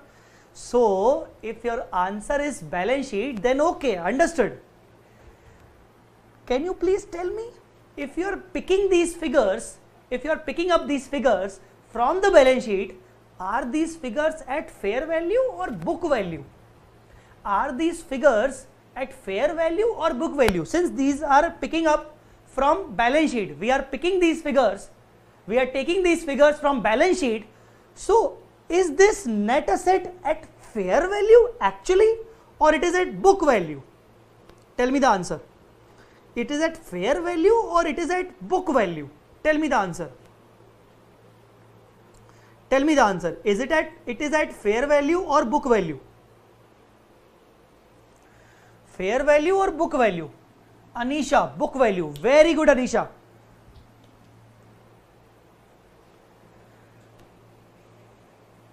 Book value. Paresh, Vineet, book value. Lucky Goyal, book value. Very good. Very good, guys. So tell me, on date of acquisition, we need PC. PC is at by default fair value, but your net assets are at book value. And if your net assets are at book value, and if you are going to calculate your NCI as per proportion of net asset method, your NCI will ultimately be at book value. Suppose, suppose you are going to calculate the NCI based on partial goodwill method. That means proportion of uh, net assets. So your NCI will also be calculated at book value. How can you compare your PC at fair value with your net asset and NCI at book value? This is not the proper comparison. This is not the proper comparison. Understood or not? You have to compare all the values at fair value only. At fair value only and see the topic name. What is the name of the topic?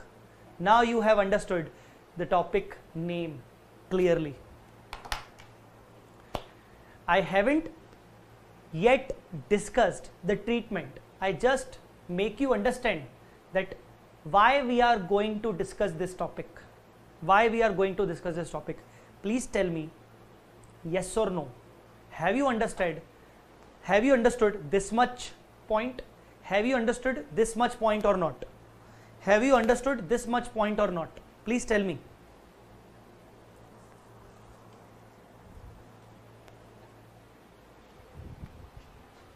Have you understood this much point or not?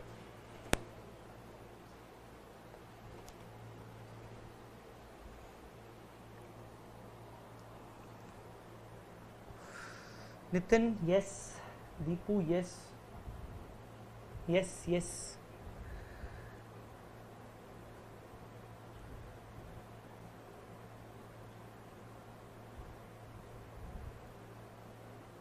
Suraj Rawat, sir, is it possible if DU, date of acquisition is balance sheet date, some of the assets carried at fair value, it may be at fair value also? Yes, it is possible. Sometimes it is possible, yes.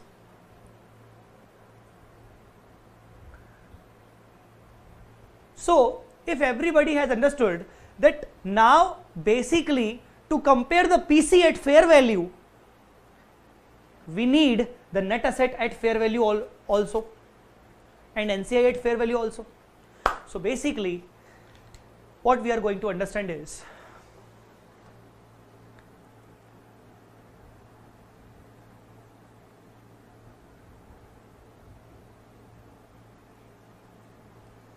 what we are going to understand is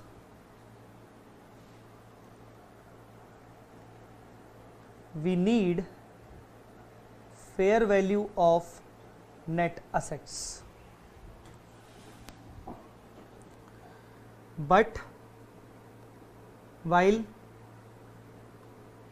preparing statement of net asset changes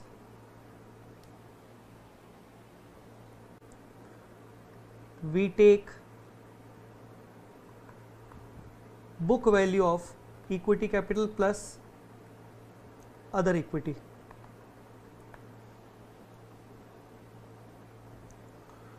No issue. If we add or deduct any revaluation profit oblique loss. On net assets.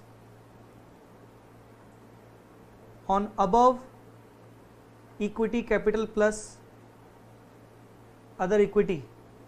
Then we will get fair value of net asset. Please write down this.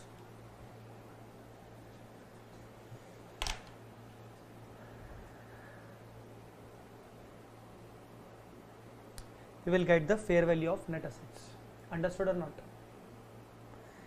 If we if we add or deduct any revaluation profit or loss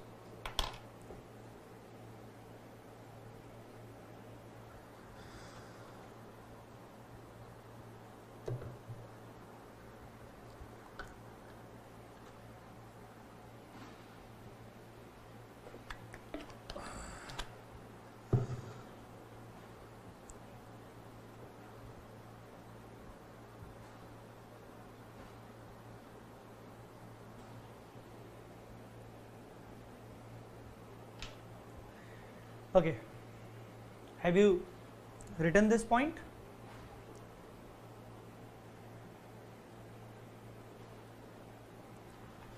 Okay. So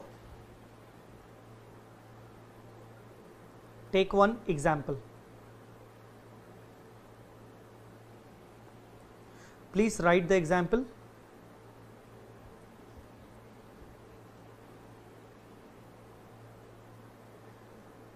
first April 2020 equity capital was 10 lakh. Other equity was 6 lakh. Obviously these are the balance sheet figures. Here other equity here other equity was 9 lakhs. This is also a balance sheet figure.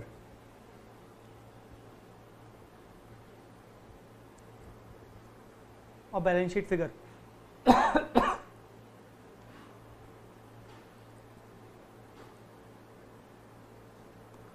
on 1st August it was date of acquisition 75 percent PC was PC was 15 lakhs. PC was 15 lakhs. Okay.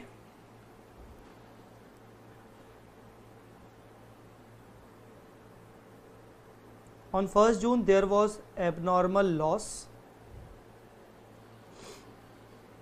of 27,000.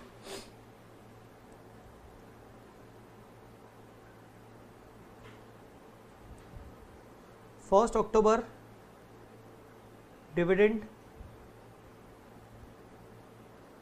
paid by subsidiary at the rate of 12 percent.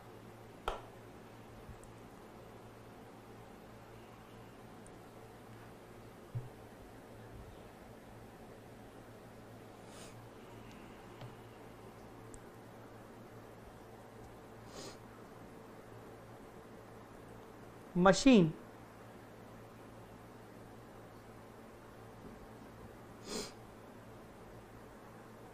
Book value.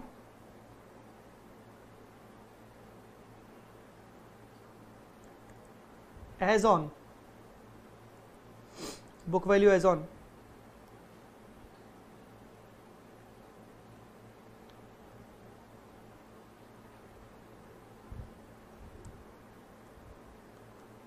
thirty first March.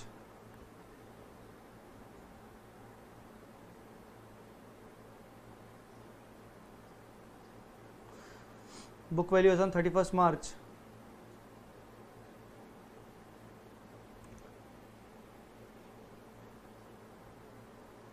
Eighteen lakh was having fair value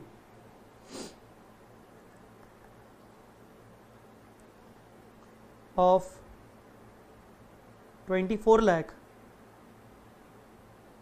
on 1st August date of acquisition.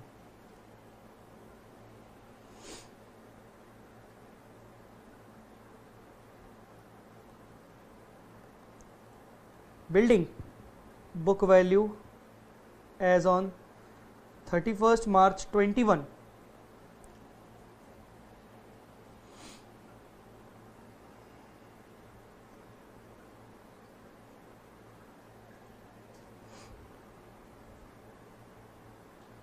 24 lakh. Was having fair value of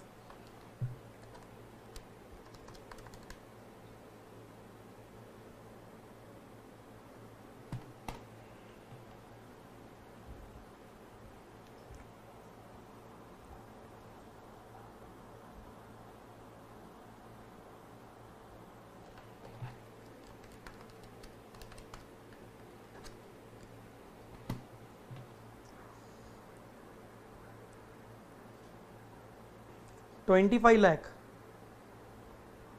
on one eight date of acquisition.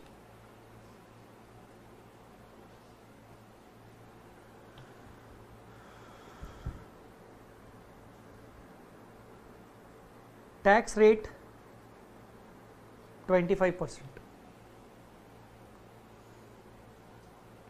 This is the example. Tax rate 25%. So guys, till now whatever we have discussed, I have covered each and every point. That is abnormal loss, dividend, revaluation, everything. This is the master problem of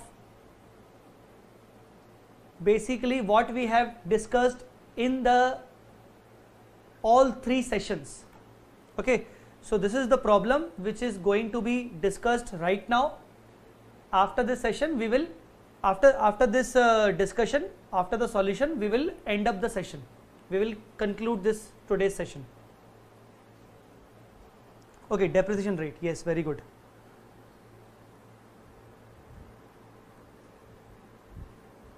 Dep rate 10 percent. Dep rate 20%.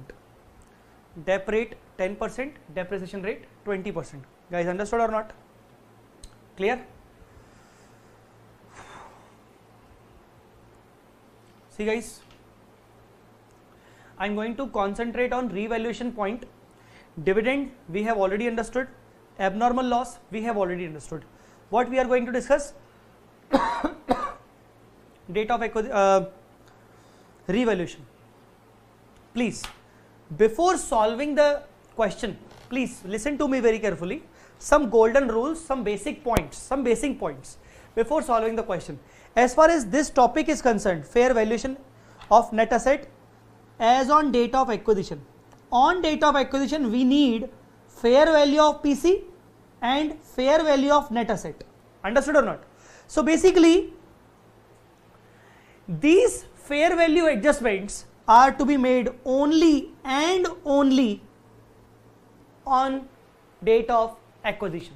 This is the basic point. These fair value adjustments are to be made, these revaluation adjustments are to be made only and only on date of acquisition. Guys, understood or not? So, tell me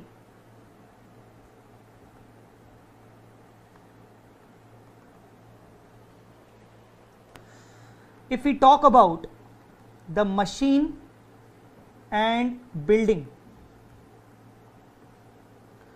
book value as on 31st March here it was 18 lakh here it was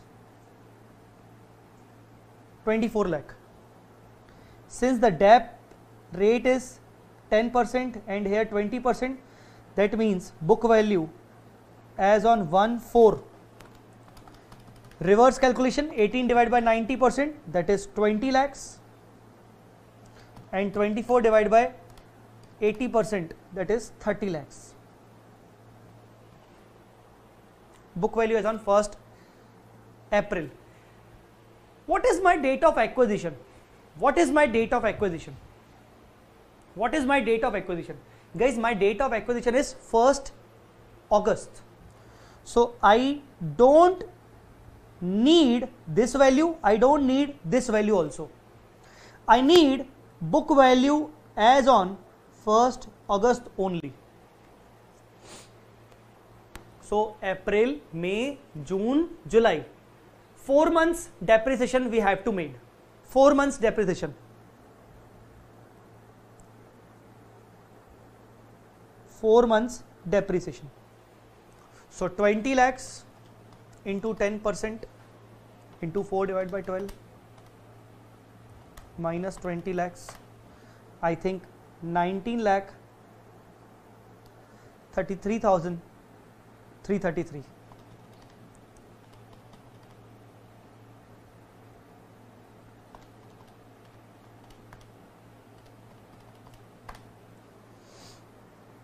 guys understood or not in the same way, 6 lakhs divided by 12 into 4, 2 lakh, so 28 lakhs. This is the book value as on 1st of August. Now, the fair value as on 1st August. I think it is given. The fair value is given 1st August fair values are given 24 lakh 25 lakh 24 lakh 25 lakh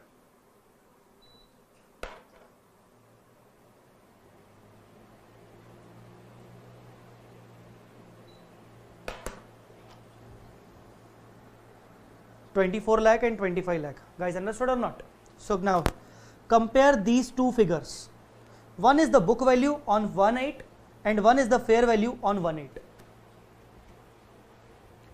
One is the book value and one is the fair value. See, by taking equity capital and other equity, while preparing a statement of changes in net assets, we always consider equity capital and other equity from the balance sheet. So technically, by taking equity capital and other equity, we already consider the book value. We already consider the book value. But the fair value was on 1 August was different. So 24 lakh minus 19,33333. 4 lakh 66,667 was your revaluation gain and 3 lakh was your revaluation loss. Basically, what is the meaning of this revaluation gain and revaluation loss?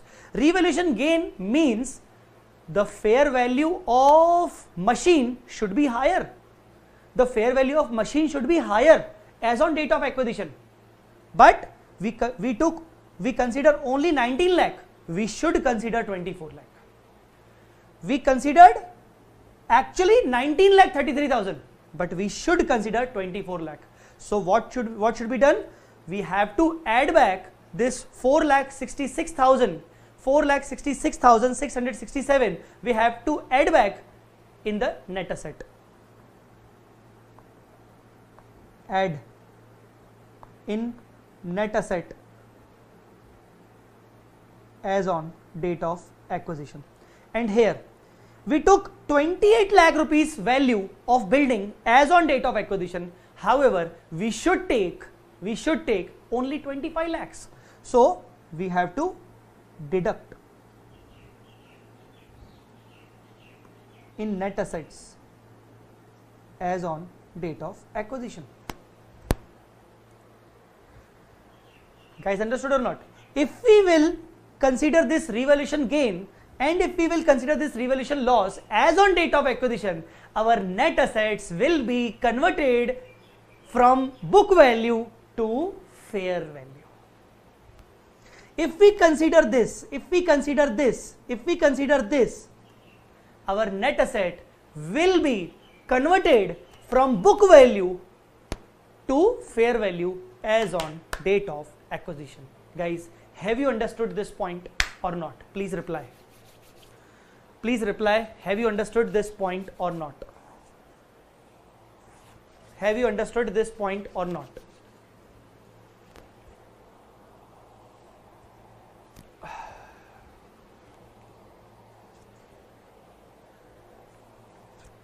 Have you understood this point or not?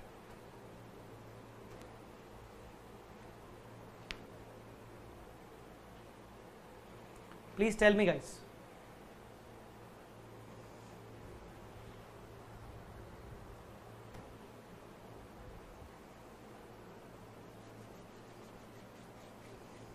Okay, great. But still, our point has not done. Still there is some thing need to understand again. But before that just prepare. Statement of changes in net assets particulars net of acquisition change and uh, balance sheet date. Equity capital 10 lakh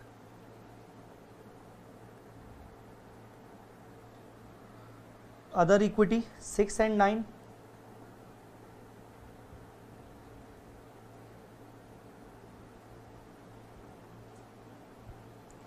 So here it is 3 lakh. We have to add back the dividend. How much dividend was there? 12 percent.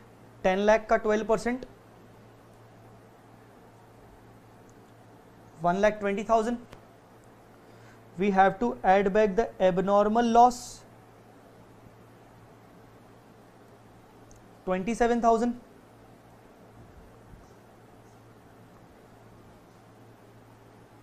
Now make the time adjustment.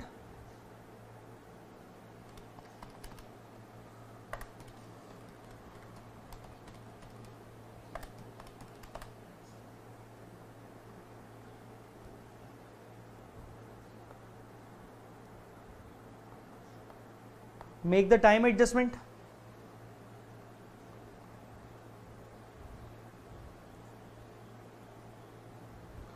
Basically these are the four months.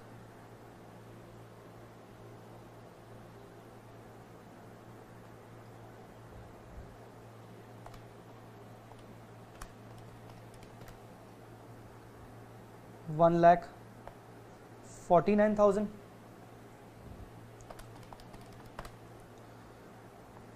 seventeen lakh forty nine thousand.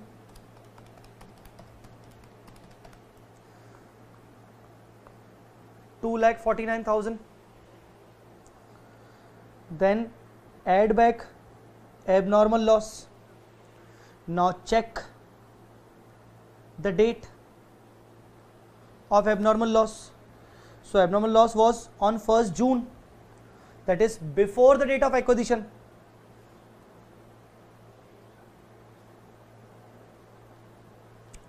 one second one second one second. Guys we need to add back no? we have done correctly. We have to deduct it.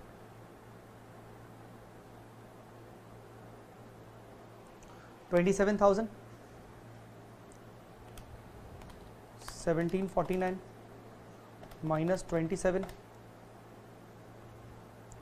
seventeen twenty-two, and two ninety-eight.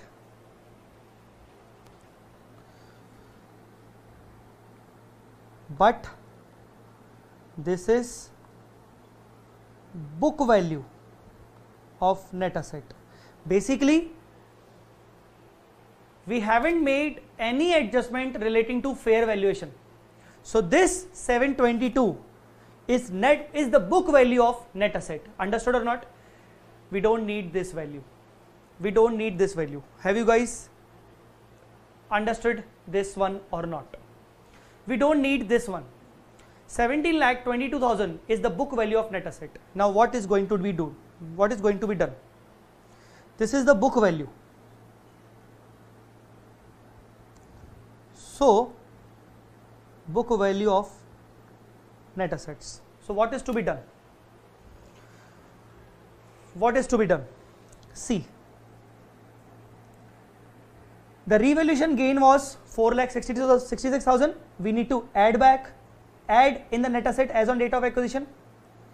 So add revaluation gain 46667 and less revaluation loss 3 lakh.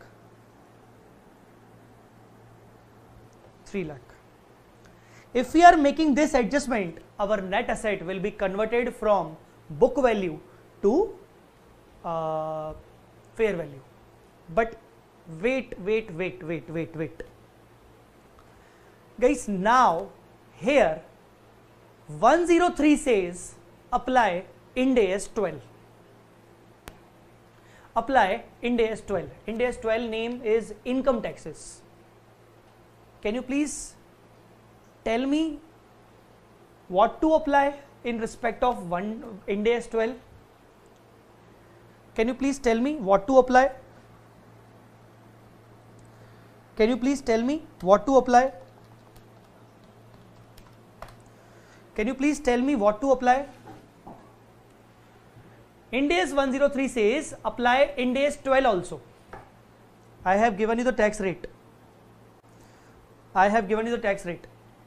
Can you please tell me what to apply in what to calculate what to do cal uh, calculate Dep adjustment is also required to make. Paresh Pawar. Dear yes Dep adjustment is required to make in the change column but I am not going to, I am not discussing this right now. I will discuss this.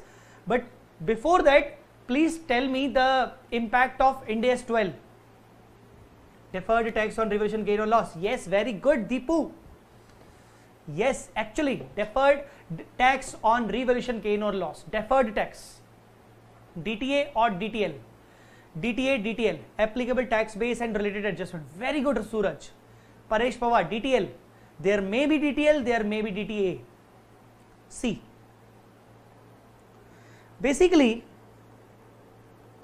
as per Ind AS 12 DTA or DTL is calculated if carrying amount of asset liability is different from tax base of asset liability.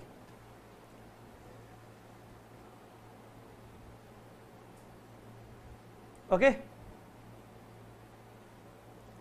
So basically when we are taking the machine at 24 lakh, we are taking the machine at 24 lakh, so we will record the machine in our CFS. In CFS, the machine is to be recorded at 24 lakh. But the original tax base as per the Income Tax Act, Income Tax Act will not consider this 24 lakh fair valuation. Income Tax Act will consider only 19 lakh original figure. So the tax base is 19 lakh 33,000. Tax base is 19 lakh 33,000. Guys understood or not? Tax base is 19 lakh 33,000 and it is the carrying amount in CFS. So technically while preparing CFS, we should consider 24 lakhs in our consolidated balance sheet. But income tax, income tax, income tax is applicable on PAN number.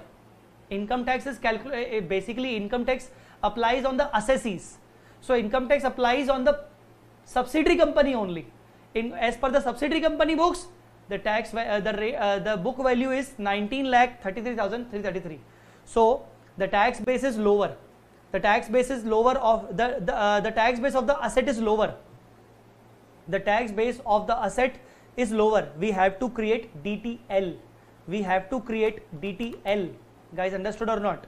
We have to create dtl fair value is higher and tax base is lower.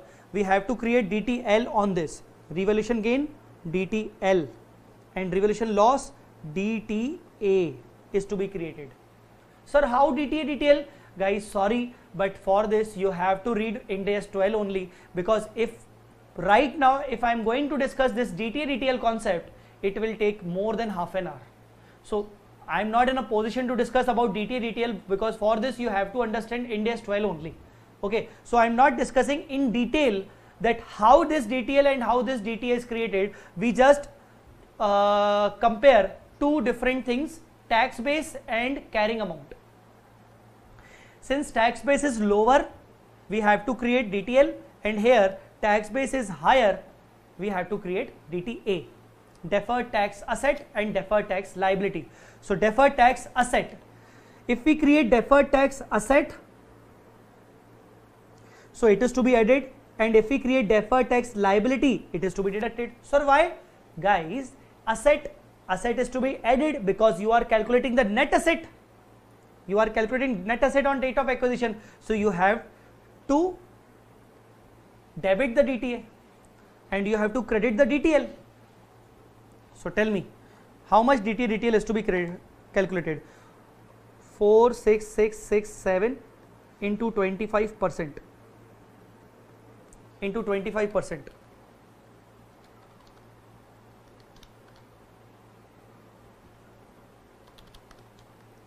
it is 116667 and 3 lakh into 25 percent 75000 sir can we make net net of? Yes. 11667 minus 75000 41667 this is your net DTL net DTL. So basically because of this our net DTL is 41667 guys understood or not? Net DTL is 41667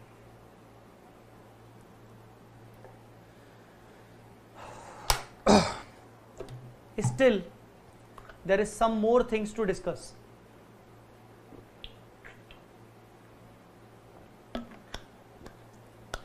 Still, there are some more things to discuss. But before that, have you understood this one or not? Guys, don't be confused. If you are not able to calculate how DTA and DTA, DTA and DTL is calculated, this is not the problem of 103. This is the problem of one, uh, Ind AS 12. I am just asking the concept. Why DTA DTL is created? This much if you have understood, then okay. Do not bother that how we have calculated this DTA DTL because you have to understand the Ind AS 12 only.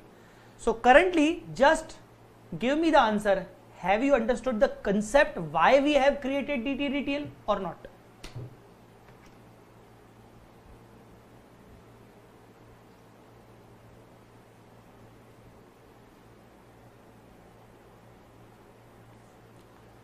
Very good.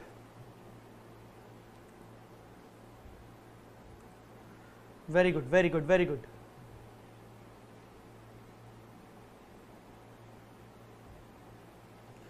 Great. Now, last point, last point. See guys, whatever adjustment we have made, it is made on the date of acquisition. It is made on the date of acquisition. So technically, technically on date of acquisition we considered the fair values. On date of acquisition we consider the fair values. But when we prepare our balance sheet our cfs on 31st march 2021 when we prepare our balance sheet as on 31st march 2021 we have to calcul calculate depreciation effect on revaluation gain oblique loss. Now you will ask why. Even I am asking you why we are calculating this depreciation effect. Can you please tell me the answer? See, I am giving you hint. On 1st August only we consider fair values, but on 31st March we have to prepare the balance sheet. So why we are calculating depreciation effect? By depreciation effect I mean additional dep on gain or saving in dep on revaluation loss. Tell me why we are calculating the depreciation effect. Tell me the reason why we are calculating the depreciation effect.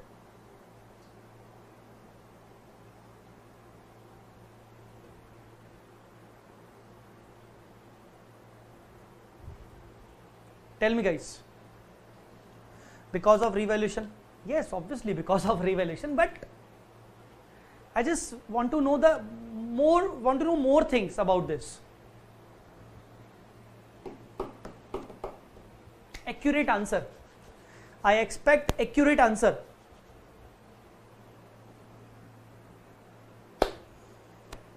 One new student came, Deepu Jassani. Yes, sir. Okay. Nina. Because Nandini, Deepu, Vatika, Paresh, Kirandeep, they are already replying so many times. Deepu, because subsidiary company has calculated depreciation without considering revaluation. Yes, great.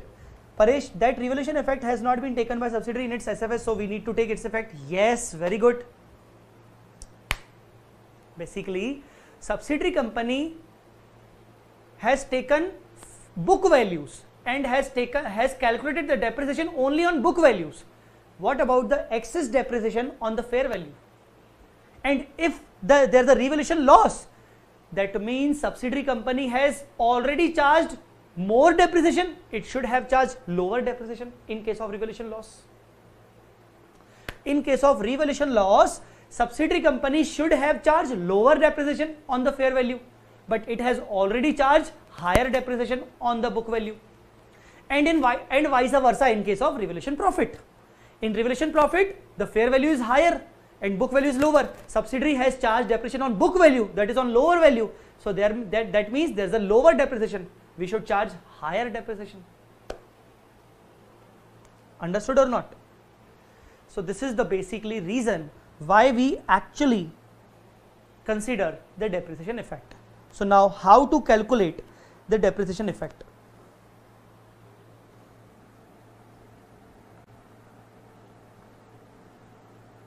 Please write this heading how to calculate depreciation effect. I will tell you the effect on machinery and you have to tell me the effect on building. I yes definitely there will be the effect of deferred tax also on the depreciation. I will tell you the effect on machinery. See one golden rule for post period only. That means 1st August to 31st March only. We have to consider the depreciation effect of post acquisition period only. That's why we need to calculate depreciation that should be charged and what are actually charged. Yes yes Vatika very good. So machinery depreciation from 1st August to 31st March that is actually charged. How much is actually charged? I think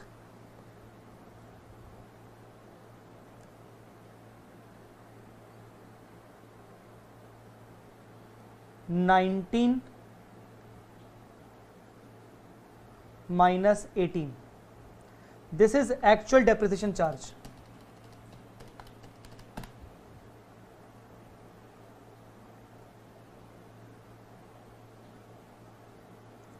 One eight book value and 31st March book value.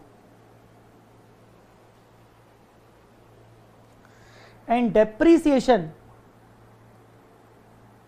from 1 8 to 31st March that should be charged on fair value on fair value. What was the fair value? It was 24 lakh right?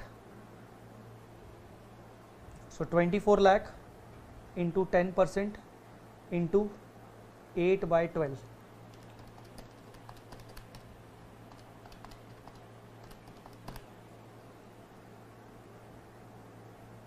160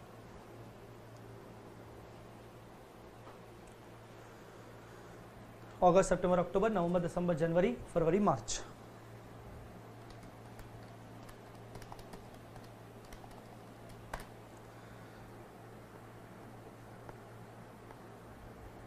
Additional dep is one lakh. Uh, sorry, is two lakh sixty six thousand. No, sorry, twenty six thousand six hundred sixty seven. And on this additional dep, tax effect. On this additional dep tax effect. DTA tax effect DTA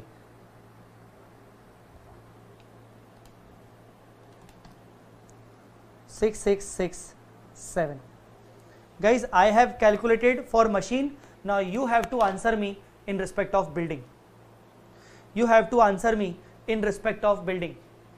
Guys, I have calculated in respect of machine. You have to answer me in respect of building. I am hiding this, this screen. I am hiding this screen. I am hiding this screen. I am hiding this screen now. I will calculate the effect of building also, but I am hiding this screen and I want you I want you to calculate, I want you to calculate in respect of building. Suraj, there will be DTA. Suraj, there will be DTA. Sir, why? Because this is an additional depreciation. Income tax will not provide you the additional depreciation. So the tax base will be higher and carrying amount will be lower because of additional depreciation because of additional depreciation the tax tax income tax will not give you the additional uh, benefit of additional depreciation so tax base of the asset will be higher and the carrying amount will be lower lower. So if the tax base of asset is higher there will be a dta so i am hiding the screen.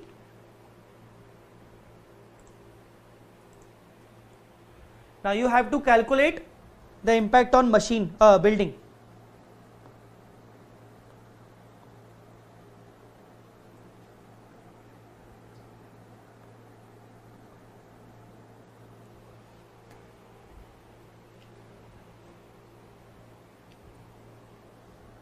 Building depreciation actually charged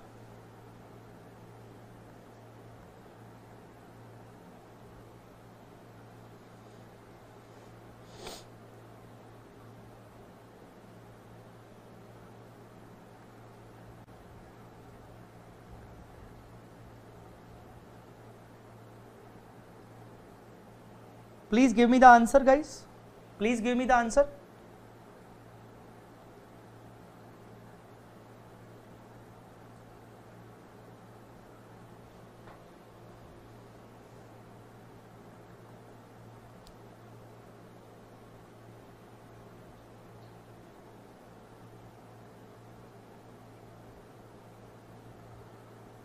Guys, please give me the answer.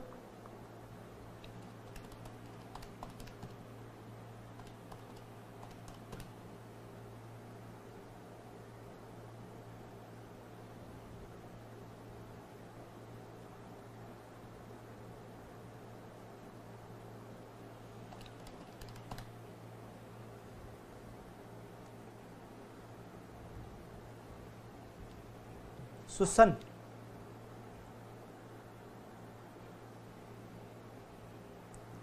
Susan your answer is partially correct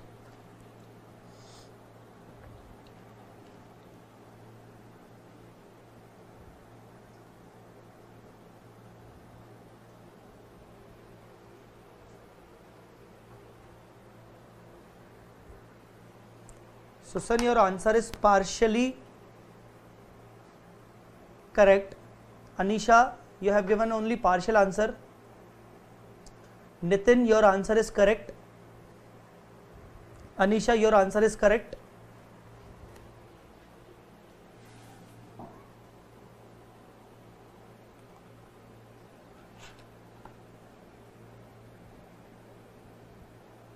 Susan, yes, now correct.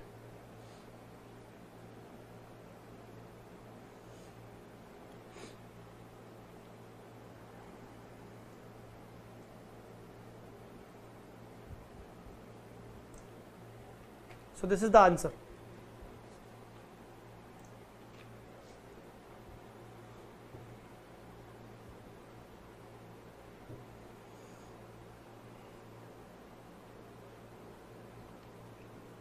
Nandani correct. Kirandeep Sharma correct.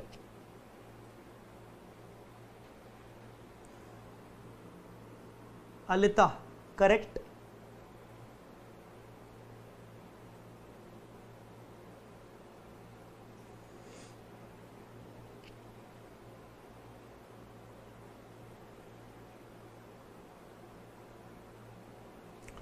Okay, so there is a saving of 66667 and there is additional depreciation of 2667. So 26667 minus 6667 40,000 net effect. So depreciation effect 40,000 net depreciation effect 40,000 that is saving. That is saving. We need to add it back because it is a saving. Saving will increase the profit. And there is a DTL of 1667 and there is a DTA of 6667 So 10,000 DTL.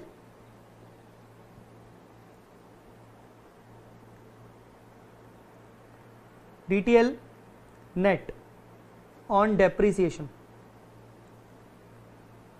10,000 we have to it deduct. Finally, we will get our fair values of net asset 1722 plus 46667 minus 3 lakh minus 41667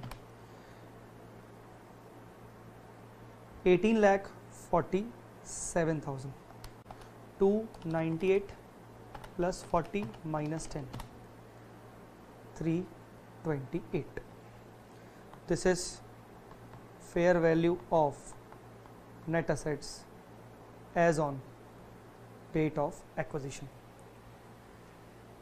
guys understood or not and this we have to make 75% and 25% parent and NCI guys understood or not one more thing. When we are we will prepare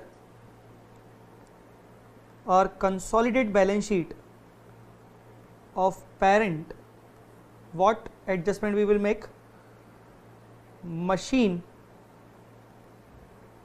parent company we don't have the figure actually. Subsidiary company we have the figure. Book value machine 18 lakh. 18 lakh first of all we have to consider the book value then revaluation gain. How much revaluation gain? 466667 then depreciation additional how much? How much additional depreciation? 2667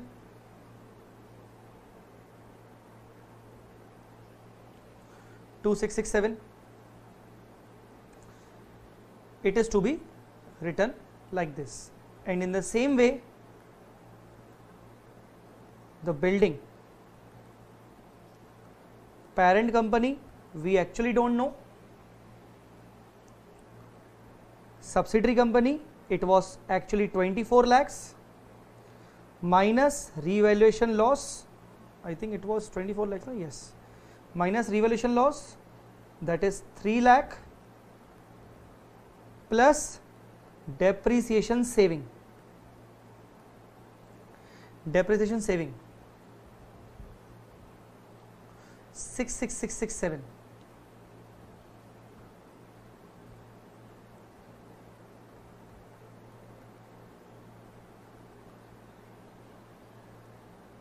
here we need to answer. Then as far as dt effect so basically DTL 41667 and DTL 10000 so basically DTL on liability side.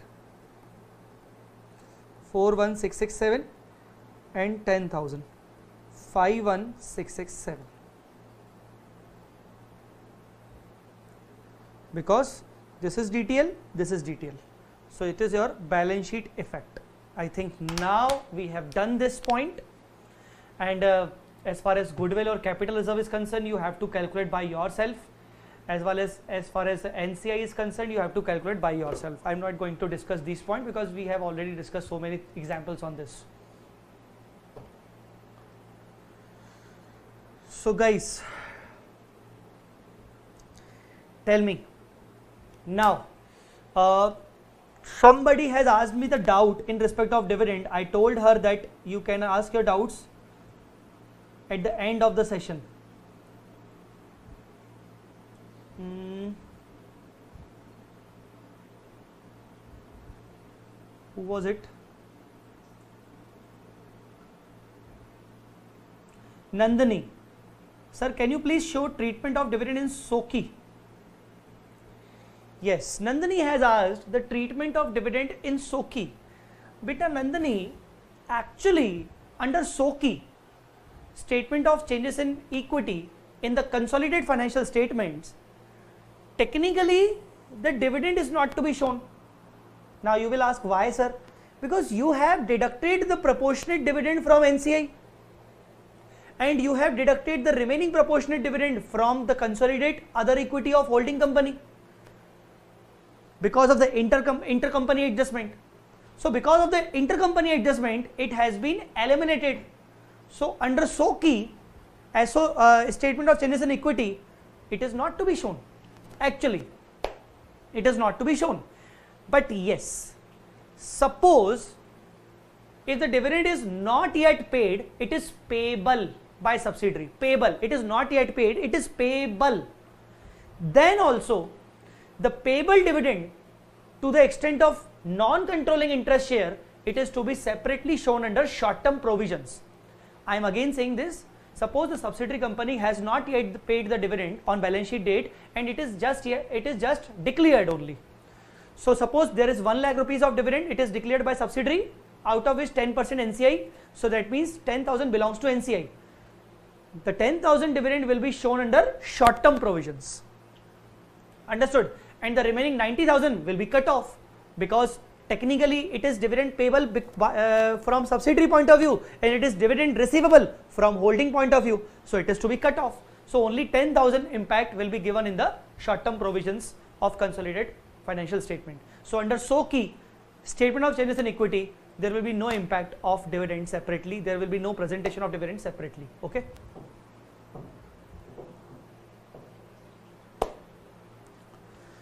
So guys, finally we have uh, discussed two important points. First was dividend and the second one was revaluation.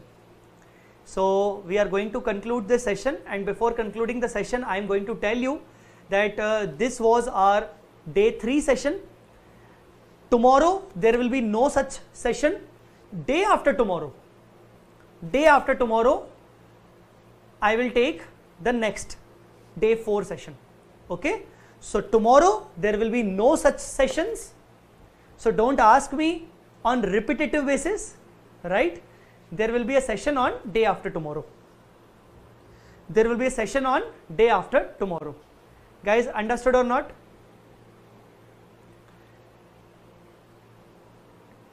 So on day after tomorrow, we are going to discuss the day 4 session.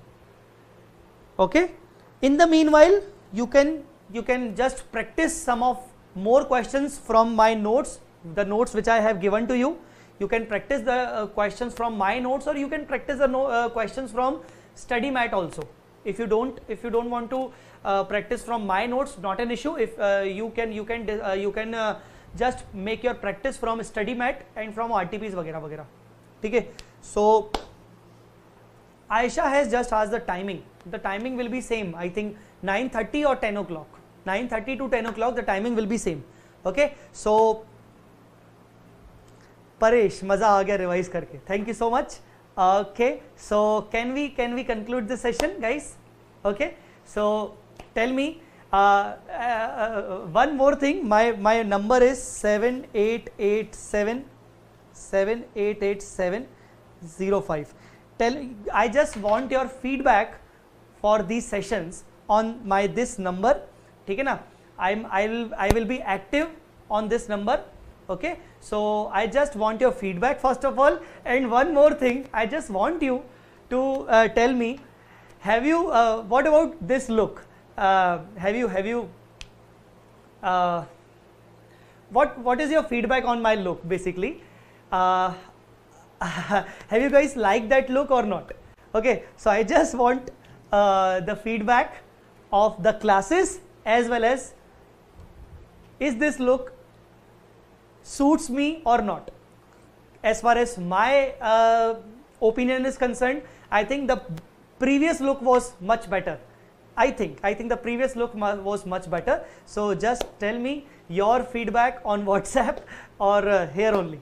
Okay guys? So uh, we will discuss the more few thing more things of business combination and consolidation on the day 4 session okay? Nandini is saying even that is awesome. Pa- paresh is saying singham okay. Let me tell you one thing. This look is basically my 2010 look. In 2010 when i was when i was preparing for ca final basically when i was preparing for ca final and in gmcs uh, i was doing my gmcs i i actually tried that look with some changes.